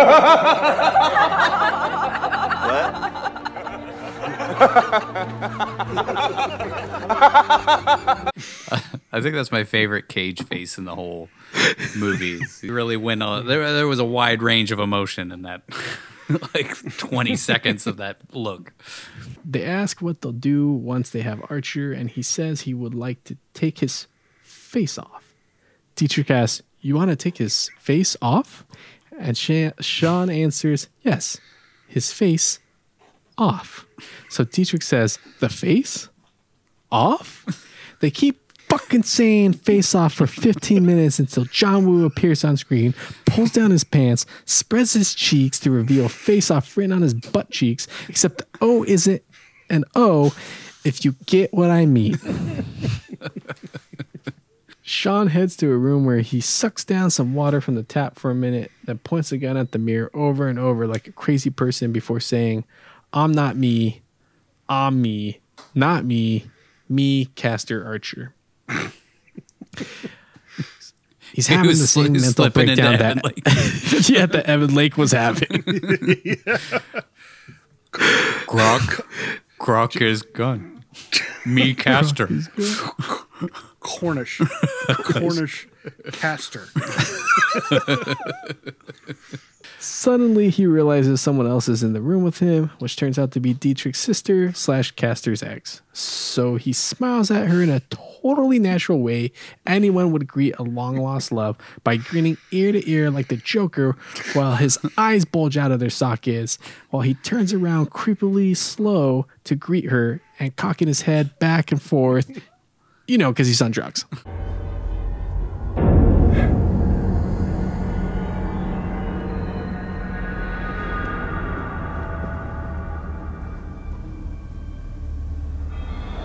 So he's just he's just kind of kooky. It's the other one of the Nick Cage meme faces. You'll see. Would have been Along amazing if he was. Kiss one. He was like, too late, too late, Too late, too late. she seems thrilled to see this nutcase and punches him in the face. Can't blame her. Back at Sean's lovely home in the suburbs, Castor calls his brother, who ha- who was being kept prisoner by the FBI last time we saw him, on a cordless landline phone to tell him that once they get the full resources and protection of the government to help them get rid of all their rivals, they'll be set, and maybe he can get his face back. Wasn't there only like one doctor in the world that could do that surgery, and didn't Castor burn him alive? So how the fuck does he plan on getting his face back? That was my question through the whole thing was just like, so are there like multiple people who can do this thing? I guess. I guess. Turns out, yes. I guess if you're a plastic surgeon, you do DC's it. best surgeons just come Wouldn't they in. get LA's best plastic surgeon? Would that make more sense? D- the DC was FBI though. You know, those are know. those are FBI agents. Yeah. A- F- FBI doctors. FBI. Why do you need surgeons? You just need to get a gay Romanian guy in a hotel make your face look great with some makeup. God damn it. a lot of callbacks to that movie that nobody watched. Nobody and probably watched. didn't even watch the episodes No one that, understand. we did about it. All right. We're about to have some fun here, gentlemen. Castor spots Sean's daughter pull up with some dude in a Corvette, and I have to say it's nice to see Danny Masterson playing against type and really getting into the role of being a creepy rapist, a role he would later master in life. Castor spots Sean's it. Castor, Castor spots Sean's daughter pushing Hyde from that 70s show off of her and kicks out the window of his Corvette. He grabs Hyde out of the car, kicks him in the nuts while screaming, Here you go, honey. You see what happens?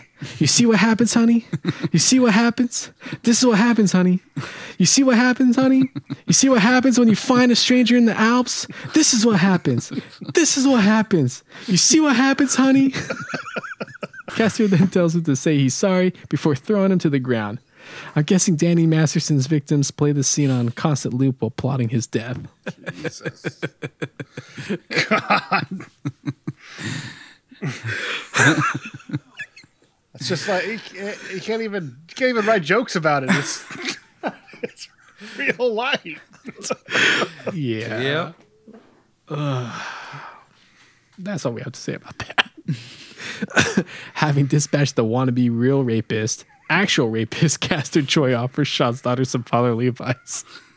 He says, dress up like Halloween and ghouls will try to get in your pants. Then he gives her a cigarette and says she hasn't been the same since he shot her little brother. then he tells her she's hiding behind someone else's face. Get it? Hoping she wouldn't feel any pain. He's, you haven't been the same since I shot your brother in the head. Yeah. Then he asks her if she has protection since he wants his chance to rape her. No, wait, that was earlier. now he's a good guy, I guess. Uh, anyways, he gives her a sweet ass butterfly knife he bought at the mall ninja shop while he was purchasing his fancy card box he keeps his gold guns in. Then he tells her how to sever a would be rapist's femoral artery, and she gladly takes it as he kicks back and says to himself, I am the king.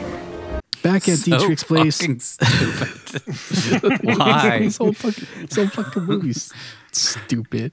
Back at Dietrich's place, Sean wakes up and nearly shoots Sasha, the woman who knocked him out, in the face. John Woo gets one goofy face closer to his Nick Cage goofy face quota for the film as Sean looks around the room with a wide eyed look on his face for a minute. Sasha gets right down to business, pulling Sean's pants off and prepares herself for a night of tongue sucking. she then tries to get him to leave, and he says he's not going anywhere, so she jumps on top of him two seconds after saying, What, do you expect me to jump on top of you after all this time? We see Pollux outside watching Sasha and Sean through a telescope as if he's the crocodile watching some teenagers getting it on inside Willy's Wonderland. he calls Castor and says, Um, you are our only hope of catching Sean so they can go legit or whatever the fuck their plan is. Sean rejects Sasha's advances and she tells him to leave since she will lose her son if the FBI finds out he was there. This chick is uh this chick's kind of confusing. Uh, she's sending a lot of mixed signals. Sean tells her he regrets doing all the absolutely batshit insane things Castor does on a minute to minute basis, and her son runs into the room. So if her son was right outside a see through glass door that was unlocked this whole time, like what would have happened if they, you know, uh, just fuck it, never mind. her son is either on the spectrum or the feral kid from Road Warrior because he looks around the room with completely vacant eyes while sporting a haircut dumber than the bowl cut Sean's son had before his untimely demise. He hardly says a word before grabbing one of Castor's gold guns off the bed and pointing it right at Sean's face. Sean is shocked to find out this kid is Castor's, so he repays the favor his longtime rival paid him, takes the gun and shoots the kid in the head. no, wait. Sean embraces this weirdo and does his patented finger rape of the kid's face while Castor's son gives him a thousand yard stare. Just nothing going on behind those creepy black doll eyes of his. She's got eyes like a doll, like doll's eyes. doll's eyes. Apparently, this Cabbage Patch doll looking freak reminds him of his own son, so he's over the moon in love with him immediately.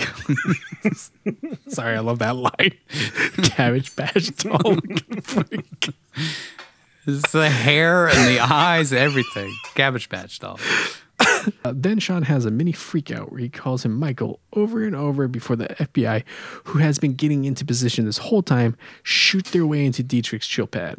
They open fire on a room that clearly has a little kid in it, and shit goes nuts. Now, normally I would say this whole scene is super unrealistic. Like, why would the FBI just start blasting from across the street? But then I remember Waco, and this all seems plausible. They even say, "We've got a warrant for your arrest." Like as they bust in and start shooting everybody. As they just start blasting. I mean, why would they just automatically shoot to kill every person in the entire building? It's crazy. No knock raid, man. no knock raids. That's how they go down. but they do actually put a line in there saying, "We got a warrant for your arrest." Like as they're opening fire on everybody. Yeah. Sean, Sasha, and the human Chucky doll dive for cover while most of the bad guys just kind of saunter around since they all know the FBI doesn't shoot with real bullets, just guns that fire sparks or whatever. Sean uses this opportunity to connect with the vacant shell of a human, Castor's son, and says, How'd you get to be so brave? How did you get to be so brave? Before putting some noise canceling headphones over his ears and cranking somewhere over the rainbow, since that is what, you know, it's most important when 30 men with machine guns are firing into the room you're currently in. Fun fact the scene of Adam listening to Over the Rainbow on his portable headphones was John Woo's idea and not part of the original script. Paramount Pictures actually refused to finance that extra scene. John Woo had to use his own money to make it happen. He was later paid back when the film turned out to be uh, profitable. So you had to pay for the rights for Over the Rainbow. Yeah. I mean, it's a different version, so I think it's you know when you uh, hear different versions of songs, and you're always like, why don't they just use the original versions? Because they only have to pay the the distri- like the person who has the rights to the song, not the actual artist or the studio. Wow. So then they get some other artist to do it. Yeah, so they get someone else to do it, so it's cheaper. You know, you still have to license the song, but it's way cheaper. Interesting that he was so like Yeah, diehard. what a weird hill to die on. Yeah. It's- yeah. It's No, he's got to be over the rainbow. Over the rainbow. yeah. And it's such a like it's not a very long scene. It's pretty pretty short. It's only like 20 seconds of him listening to Somewhere Over the Rainbow. But 20 seconds too crucial, crucial to the film. Uh, anyways, the FBI swings into the building with reckless abandonment, firing machine guns at anything that moves. Dietrich takes out a couple of FBI guys with a shotgun, including one that is just sitting in a chair for some reason. he gets pretty upset when he realizes his place is getting fucked up, which makes Castor laugh since he overheard him from the rooftop of, of the adjacent building. Uh, I don't know if that was what's supposed to be happening or if it's just John Woo. I think cute. they just wanted to cut to something like he's laughing at the situation, but the- it yeah. but it's right after he says, "Man, my place is getting fucked up." Yeah. Or maybe that's his way of telling us we need to laugh at that joke. I don't know. Who knows? Yeah, I think so. What was with Sean the guy sitting in the fucking chair? Did you notice that? It's just like a guy sitting in a chair, don't and then they shoot him in the chest. And Yeah. falls, falls I- off I the railing. he must have got knocked into it, but they didn't show him getting knocked. I don't know.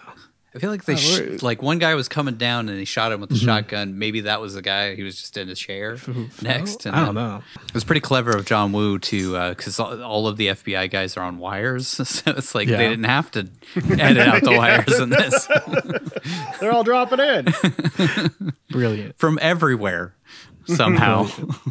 Sean kicks an FBI guy he probably worked with through a window and bashes him in the face.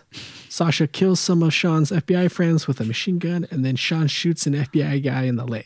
Again, we have to ask is he going to get in trouble for wounding or killing FBI agents and prison guards when he goes back to being himself? Because he's fucking some people up. John Woo uses the kid listening to Somewhere Over the Rainbow as a fun way of showing the mayhem that will surely scar this obviously already mentally challenged kid for the rest of his days. We see people being violently killed in slow mo, bodies flying through the air, and you guessed it, lots and lots of sparks before finally Sean does a slow mo somersault to save the boy from a deranged FBI agent who almost shoots a little kid. that whole setup, too, to get to that point, they're like passing the kid off like he's a fucking football, and then they just leave him in the middle of the fucking room while people are shooting left and right. What the fuck was the point of that? the kid was supposed to hide, but obviously there's nothing going on behind his eyes. he just strolled out, started pointing at stuff.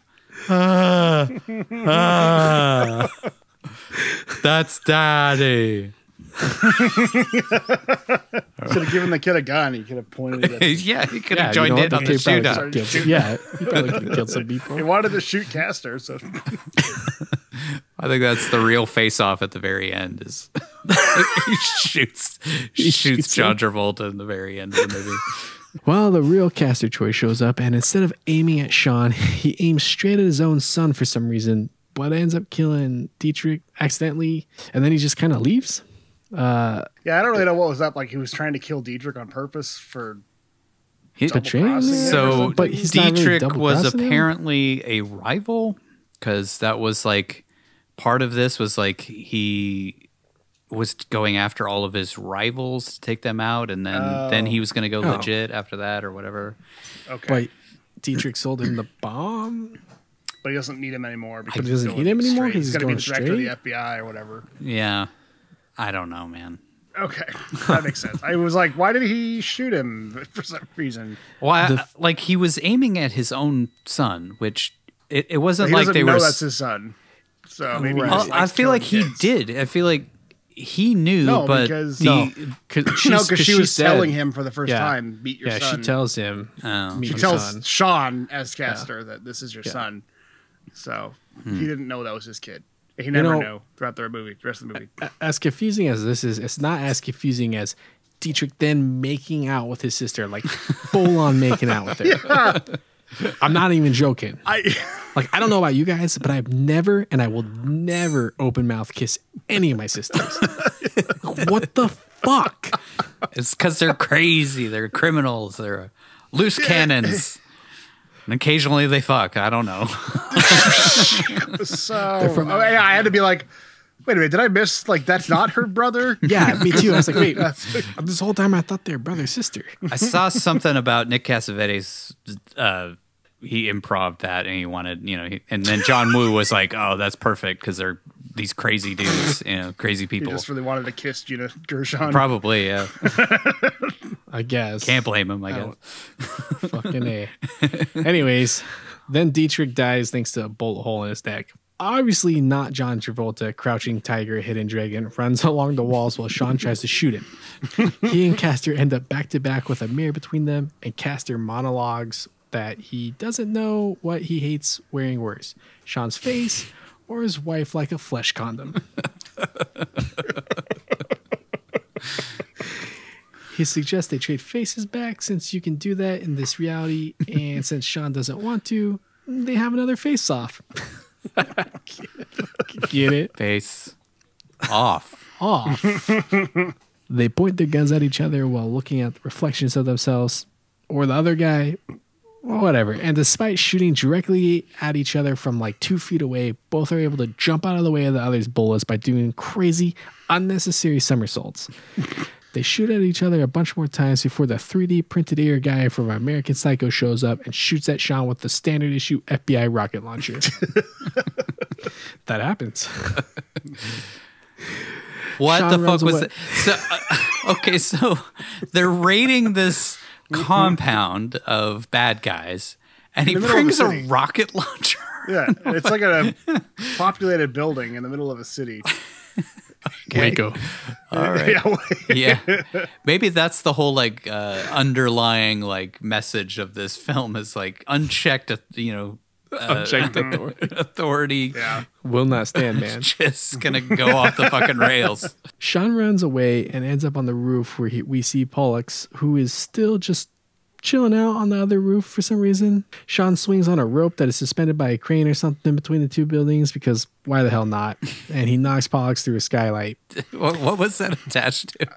Just just a random rope hanging over the. I mean, it's supposed to be like an industrial building of some sort, but like, what was there know. a crane over the top?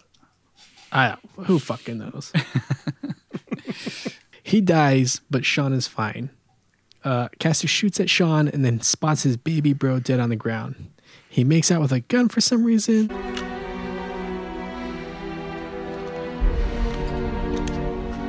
then shoots American Psycho guy when he says, "Why are you so upset? It's just Pollux, Troy." So he shoots at the fellow. You're sweating. I think he was.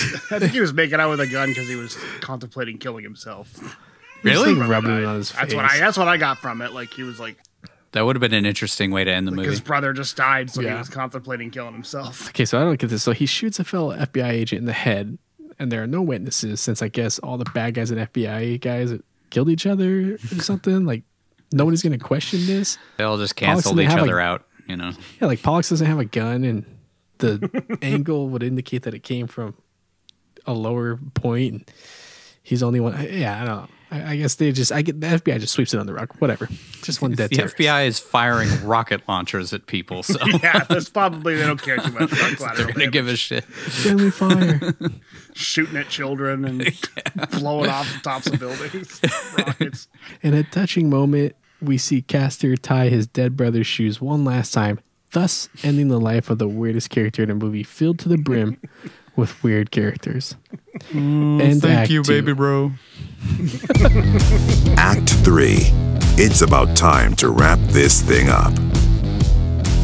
Over at the FBI, Castor is upset despite the fact that he's on the cover of Time magazine thanks to his uncanny ability to locate his rivals' hideouts. Uh, why would Time magazine's Man of the Year be? I don't know. I The guy who icon- just stopped, uh, just Right. just raided a rival's location. right, but I guess he did stop a terrorist back Yeah. back in the time before A, a week ago. They, Yeah, they but I say mean, at the end that they've only switched faces for a week, but Yeah, somehow he ended up on Time magazine. Also, he's just got dozens of FBI agents killed, so the big boss is a little bit upset. Lazarro tells him he's terminating his war on terrorism, and with just a glance, Castor Troy triggers the man to have a heart attack, I'm guessing. the movie seems to insinuate that him shooting his boss, the stank face, somehow triggered myocardial infarction. Either that, or he's trying to te- it's trying to tell us that Castor Troy is such a whiz at observation that he notices the subtle cues Lazarro is giving off, such as gasping, wincing in pain, and clutching at his chest, and brilliantly deduces that he's about to have a heart attack. Castor looks out of the windows of his office, and luckily, every single person of the incredibly busy and populated office seems to be preoccupied. So, Castor confesses to Lazarro that he's actually Castor Troy, and then punches him in the neck and chest, which I guess finishes the heart attack. I ain't no scientist, but uh, yeah, yeah, never mind. Where just science doesn't have a place in this movie? Just- what a confusing way for that guy to die. yeah.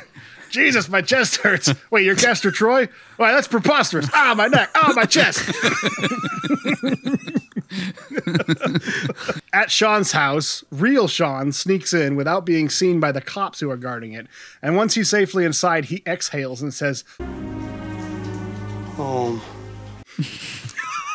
Not sure about you guys, but I do that every time I get home. Home. Fucking weird. he surprises his wife as she gets out of the shower. Real bang up job those cops are doing to protect her, by the way.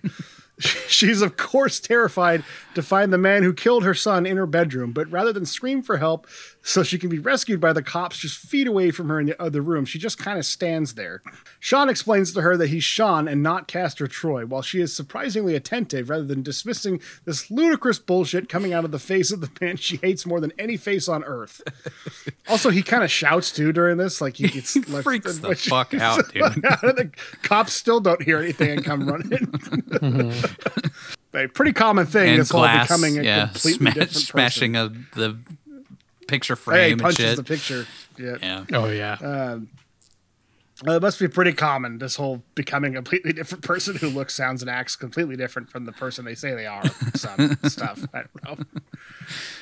Sean has a wound of some sort from the face off the night before and covers a nice piece of silk fabric with his blood. Couldn't have grabbed a towel or something. So inconsiderate. maybe maybe he always hated that silk thing and he wanted to. I'm gonna get rid of this once and for all. He explains the assignment that he went on, that he swapped faces with a terrorist, all that jazz. But he does it in a really calm way, so she completely believes it. Oh, wait.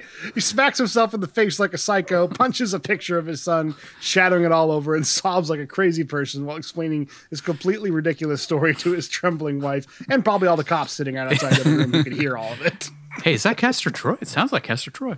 tells her to test the blood from the silk fabric he ruined and to test her fake husband's blood since he and Castor have different blood types, and that this will prove to her that he's telling the truth since she's a doctor. Sean comes home after Eve calls the cops, and Eve begins to believe the man she's been sleeping with might not actually be her husband, since he acts nothing like the wet blanket she's actually married to.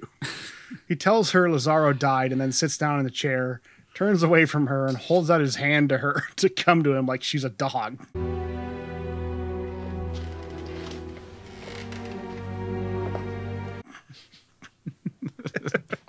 So strange, dude. Romantic, if you ask me. that night, she pricks him with a super thick needle pen that looks like the size of an ice pick, but I guess it wasn't enough to wake him up. It really does look like a pe- like a. It's huge. The needle's like the size of a pen, la- like a, a pen point or whatever. yeah, Sticks it in his arm. it's okay. that wouldn't wake you up. No, not at all. She heads to the hospital without him knowing and tests his blood, revealing that the man who killed her son was, in fact, telling the truth. Quick fact the two main characters' blood types reflect their antagonistic nature. Sean Archer's blood type is O negative, the universal donor, reflecting Archer's role as a police officer dedicated to serving the community. Castor Troy's is AB positive, the universal recipient, someone who takes from society without giving anything back. Interesting. Like, is that how people who are AB positive feel? I just take from society without You giving anything leech. back.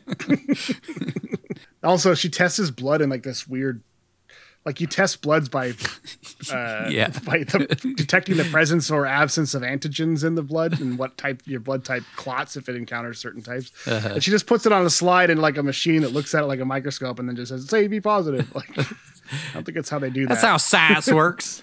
yeah. I wrote You're the not a mask. You're not a science guy. Like I was in high school. In a high school science class, I test we tested our own blood type, and it didn't require a weird spectrometer, spectrograph, spectromogram. I don't know what they're doing. Whatever, some made up machine didn't Words require aren't any of easy, that. are they, Nigel? You just put like three drops of blood, and you put Chopin. Chopping. drops of blood. Chopping. He's chopping that piano. she looked through a Chopin. A Chopin. We're cultured. Uh, Chopographer. Mass topographer. Sean is, of course, waiting for her in the room, hiding in the shadows because this is a movie and he can somehow get into this lab that she's working in. Also, the most wanted man in LA can just stroll into a busy hospital without anybody recognizing him and get all the way through to this lab again, which would presumably require some kind of credentials In to access. complete silence somehow. Yeah, and then just stand there and wait for his wife to show up. I've just been waiting here for four hours. Sorry.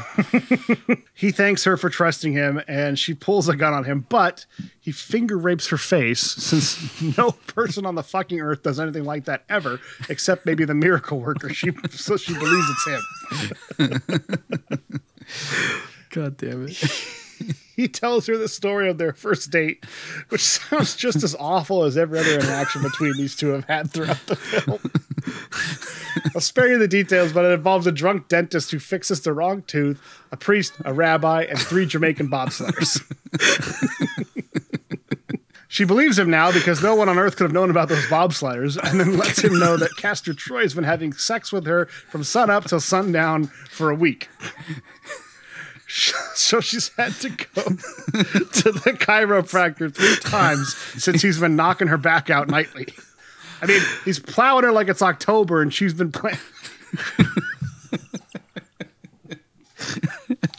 I mean, he's plowing her like it's October, and he's been planting potato crops since March. Point is, he raped Sean's wife.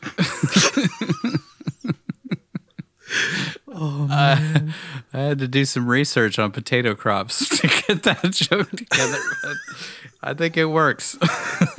More research than the scriptwriters did in blood typing. How to test blood types. you plant potatoes in March and then, then uh, harvest them in October. That's all. Uh, anyway, fake Sean wakes up to find Eve missing, so he heads back to the hospital where Eve is patching up Sean's wound in a busy emergency room while some guy with dreadlocks screams for someone to give him a cup of water. Sean explains that Castor Troy is the acting director of the FBI now that Lazarro is dead. Is the FBI based out of LA? Thought it think it's out of, like, DC. Or something. This is Quantico. They're headquartered out of Quantico. But I guess yeah. in this Or universe, it's in LA. Yeah, sorry, DC. Yeah. I mean, I guess like maybe there's separate branches. They have offices. you know. Yeah, they have offices ah, all Okay. over the states, and then you have local federal agents that work out of there. So I, I think he's now next in line for the LA office, which would be a big deal. I mean, it's a major Yeah. city that he's overseeing, but Yeah. he's definitely not uh, replacing the director of the FBI anytime soon. She tells him that Castor won't be guarded at Lazarro's funeral, so that's when Sean should take him out. She says she can keep Jamie away from the funeral, but she has to go or else he'll know something is up. Castor will know something's up. Now it gets, it gets confusing sometimes. it's really confusing, man. it's Castor, confusing a lot of times. It's it's not as confusing when you're watching it, but when you're trying to explain it, it Yeah, gets it gets really hard. Yeah. Uh, Castor shows up at the hospital with Morpheus and Neo from the Matrix for some reason, only to find his wife treating Two Face from Batman. he explains away, busting in, pushing her out of the way, and pulling a sheet off a burn victim's face by saying he was jealous since his constantly on call doctor wife left without telling him. he and his Goombas take off. so, so he still has his probably wanted for all sorts of crimes henchmen come around with him rather than some FBI agents. And that's not no one thinks it's weird. Yeah. I. I Yeah, don't, that's one of my I don't understand like, that. How does this guy completely integrate with the office politics and just work completely works fine in Sean's office with all his coworkers and none of them are suspicious. Next day we see Sean in a suit, you know, since he's going to a funeral that he wasn't invited to, since he's a wanted criminal with Sasha. he asks Sasha about her children of the corn looking son, and they make a plan to take Sean Archer down since he killed her brother. Wait, this is getting confusing. She tells Sean Archer, who she thinks is Castor Troy, that Sean Archer killed her brother, but it was actually Castor Troy. Got it? nope. Okay. Sean goes on to finger rape her face because I guess he's come to care for her, but he stops himself because it's not something a normal person would do. We see this scene juxtaposed with Castor and Eve heading to the funeral, where Eve tells him their daughter stole 50 bucks out of her purse and won't even bother to visit their dead son's grave, so why would she care about Lazarro? Plausible. Yeah, I, I felt that that was a good story. Yeah. No, no, she she said that she can send Jamie away. I know, and this was, was her like, maybe story. actually yeah, maybe. maybe. I like Uh, that he all right, stops guys. himself like right in the. Oh, Yeah, oh wait. oh, shit. I guess not. I guess my so. weirdo family that would think this is cute, and nobody else would. all right, guys. So the stage is finally set. Are you ready for the face-off to end all face-offs? Me neither. Let's bail. This last twenty minutes is just a gunfight, some doves, and an extremely over-the-top boat chase. The end. All right, we don't have to cover anymore. All right, let's go. All right, we're done. Nah, I Thank can't you do for that. watching one cage at a time. We have to finish this epic masterpiece with style and sophistication, just the way John Woo did. Lazarro's funeral is at a tiny, like, Hispanic church on the beach for some reason. that seems to have a horrible dove infestation because they're everywhere, like all over the place. They're just flying in and out. It's probably like pigeon shit all over the altar. And Gotta be. It's gotta be shit all over that place. Sean strolls off the beach into the church, has a quick prayer, and then gives an altar boy a picture to hand to Castor. Just gives him the picture of a little boy to an altar boy. It's a photo of two kittens next to each other on operating tables. One's a calico with the face of a Bombay, and the other is a Bombay with the face of a calico. The caption reads, Meow's this face off going for you? For me, it's pawful.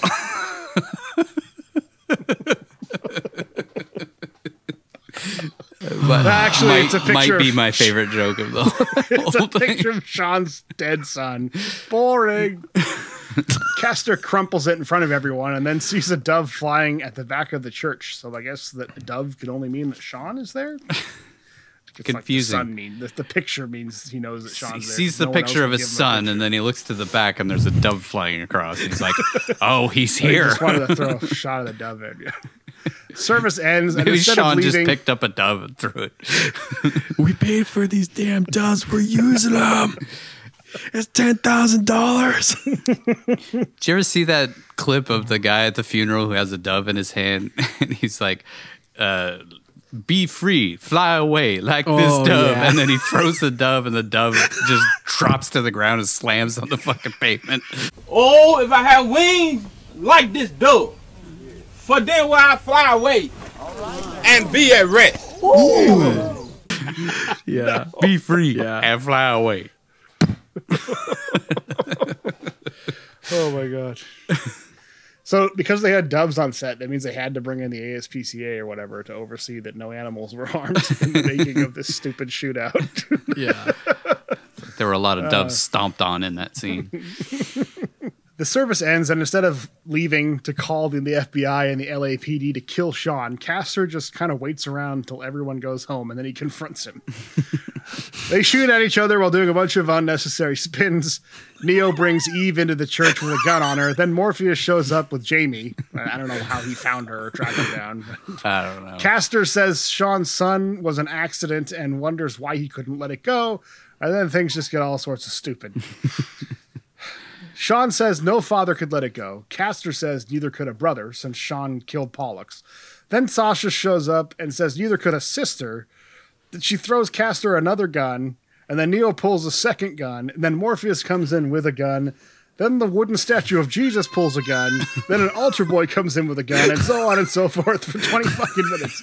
The point is, John Woo really likes double pistols, so everybody Yes, had to have does. like two pistols, Mexican standoff style, like from The Office when they do that. They're doing the murder recreation. Yeah. And they're all pointing guns at each other. Anyway, so there's like eight people holding 400 guns on each other, and Castor says, I can't, I can't even do this without my voice cracking. What a predicament! Wee! What a predicament! and somehow, through some vague eye contact, I guess, Sean communicates to Sasha to throw Eve on the ground. And then we see like 47 close ups of guns going off, people being shot, doves flying, flowers being shot at, etc. That ends with Eve hitting not John Travolta with a chair. when all that bullshit is over, Sean's on the ground with Sasha on top of him, while most everyone else laid down on the ground. Morpheus and Neo, we will never. Morpheus and Neo will never see Zion again. Sasha tells them to take care of their Hills Have Eyes son, and then dies while Eve gets jealous or something. Weird. Uh, weird shot of her like crying, like Yeah. He must have had sex with her, Just like I did. just like I did. Castor runs for a gun while Sean shoots at him with both guns blazing, since all guns have unlimited ammo in this movie, while he does some flips in the air for no goddamn reason.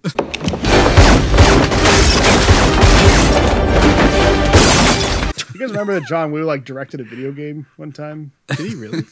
yeah. I can't remember what it was called, but it was terrible. But all I remember it had like Called bullet time and Somersault, the game. Max Payne. guns. That shit really reminded me of it. Was it the Max Payne games? No, it was some other game that was terrible, but I, I can't remember. It's like called Un- Unbreakable or Unbeatable or some weird shit. Unplayable. Unwatchable. Sean finds Jamie outside the church, notices her stupid makeup, and throws her down some stairs.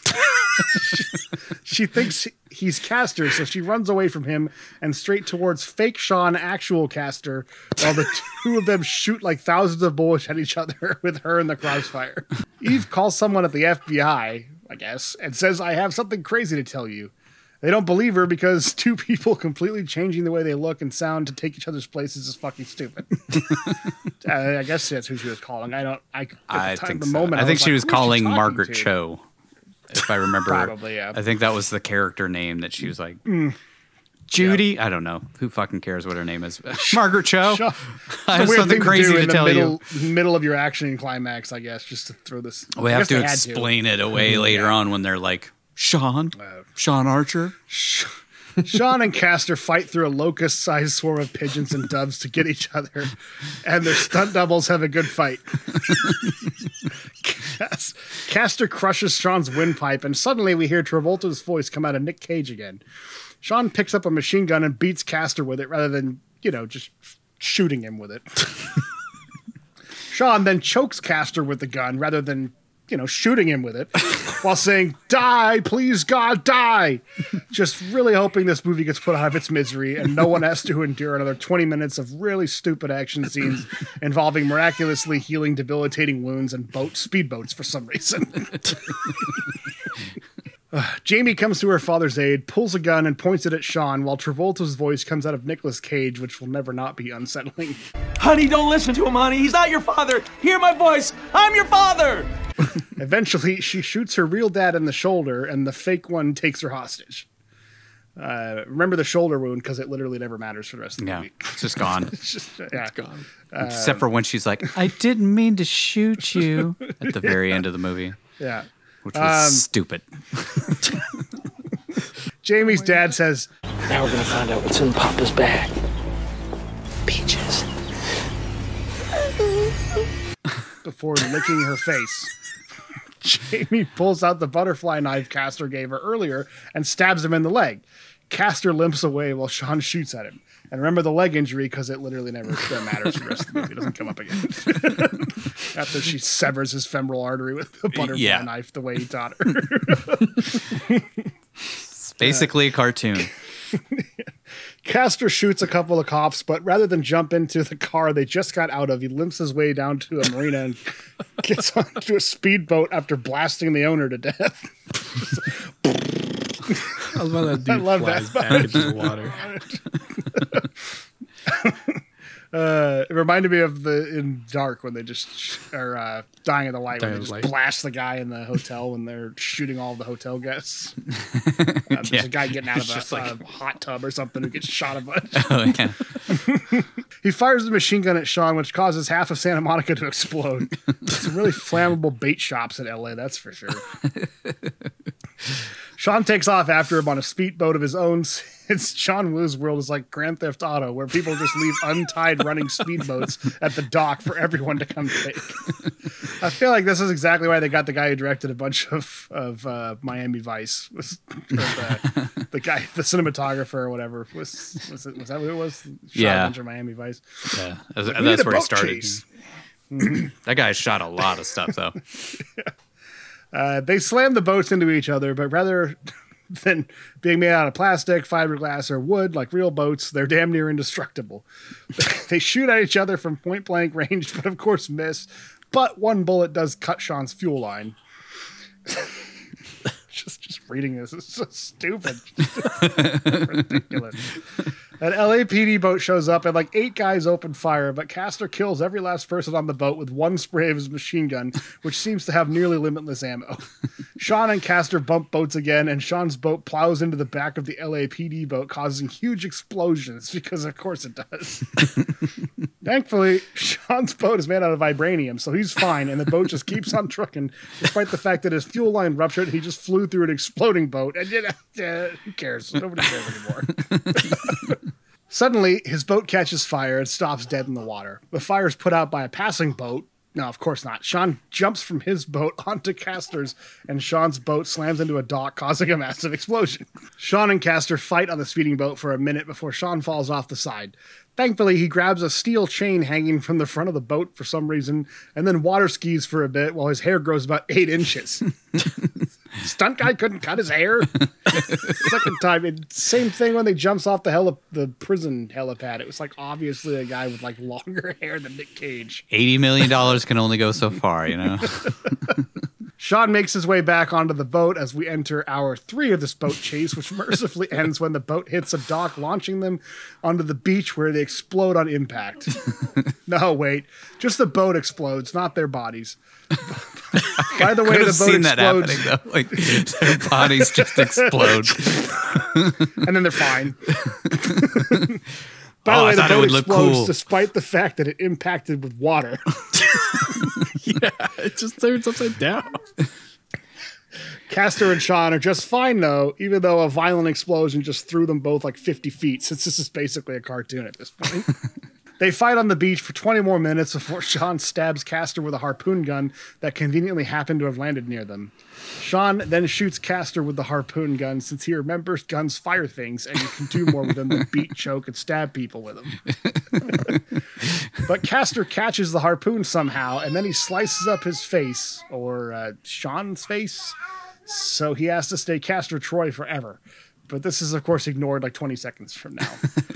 I think it's more like every time you look in the mirror, you'll see this face all hacked up, and he tries because he's like knows he's gonna try and put the face back on. I don't know. Whatever. Yeah, that's yeah, that's what I was thinking. But like they just completely ignore that, no scars whatsoever. It's Yeah. just fine.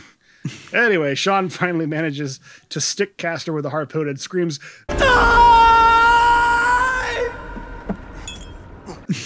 in his dying face. Personally, I would have said, "Look who's talking now, motherfucker!" But that's just me. That was Just- that was like part three with it with the dogs talking like suddenly. Yeah. then just Was he not in the first one? I thought he was. No, no, it was look who's talking. There's look, look, look who's Ah. talking to T O O. Right. And then look who's talking now, which is like the third one where the babies are grown, Oh, but the pets are talking. And Then, just to make this fucking thing even stupider, dying John Travolta sings "Ready for the Big Ride, Baby" while twitching goofily. That's callbacks. He does it when yeah, I know. gets thrown into the jet engine. Just the way he does whatever. it, though. is- The, FBI shows up, and rather than kill the guy who just harpooned the director of the FBI, they immediately go to Sean's aid since Eve's phone call explained away the most ridiculous premise of all time, and they believed her. Why Mhm. not? They take Archer to the hospital where he tells the guys who had nothing to do with the first surgery that he doesn't need the scar put back where his kid was shot, even though they'd have no way of knowing it was ever there in the first place since the Walsh Institute and all its records were burned to the ground. I thought he should have just asked to keep Nick Cage's abs rather than go back to being chunky Travolta, but again, that's just me. And just like that, thanks to DC's top medical team, they make him look just like he did before the surgery. No scars, looks exactly the same. It's been 25 years since this movie came out, and the idea of this is still considered laughably absurd. he, he shows back up at home through some particularly thick LA smog that's also in the house for some reason. I was hoping I wasn't the only one who noticed that. It's like uh, just Yeah. a fucking smoke machine right outside. yeah, it's like even down the hallway of the house, it's all smoky too. I mean, did he Uh, die on the operating table? Maybe like he Yeah, didn't actually get his face fixed because Who that's got mad? ridiculous. and he rubs his daughter's face like he's doing the thinner curse on him. Thinner. Anyone remember thinner? Everyone's stoked to see him, even though last time they saw his face, he was the guy who killed Sean's son posing as him, and he literally raped Eve and tried to rape his daughter, but whatever. They got some issues. Would have some trust issues after that. Thankfully, he didn't come alone. We see the hollow eyed feral boy from Dietrich's hideout show up, looking deranged and spooky as ever, sporting the dumbest haircut in the long history of dumb haircuts. Jamie strokes his face, and you can tell he smells her last trip to the bathroom being coated onto his face.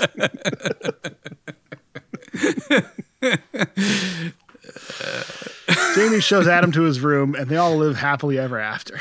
Well, Adam lives happily ever after in an insane asylum because he killed the whole family while they slept that night, but that's a tale for the sequel. Maybe that's what happens in the sequel. yeah, exactly. It's, The ju- end. it's just like Halloween, but it's Adam. Jesus.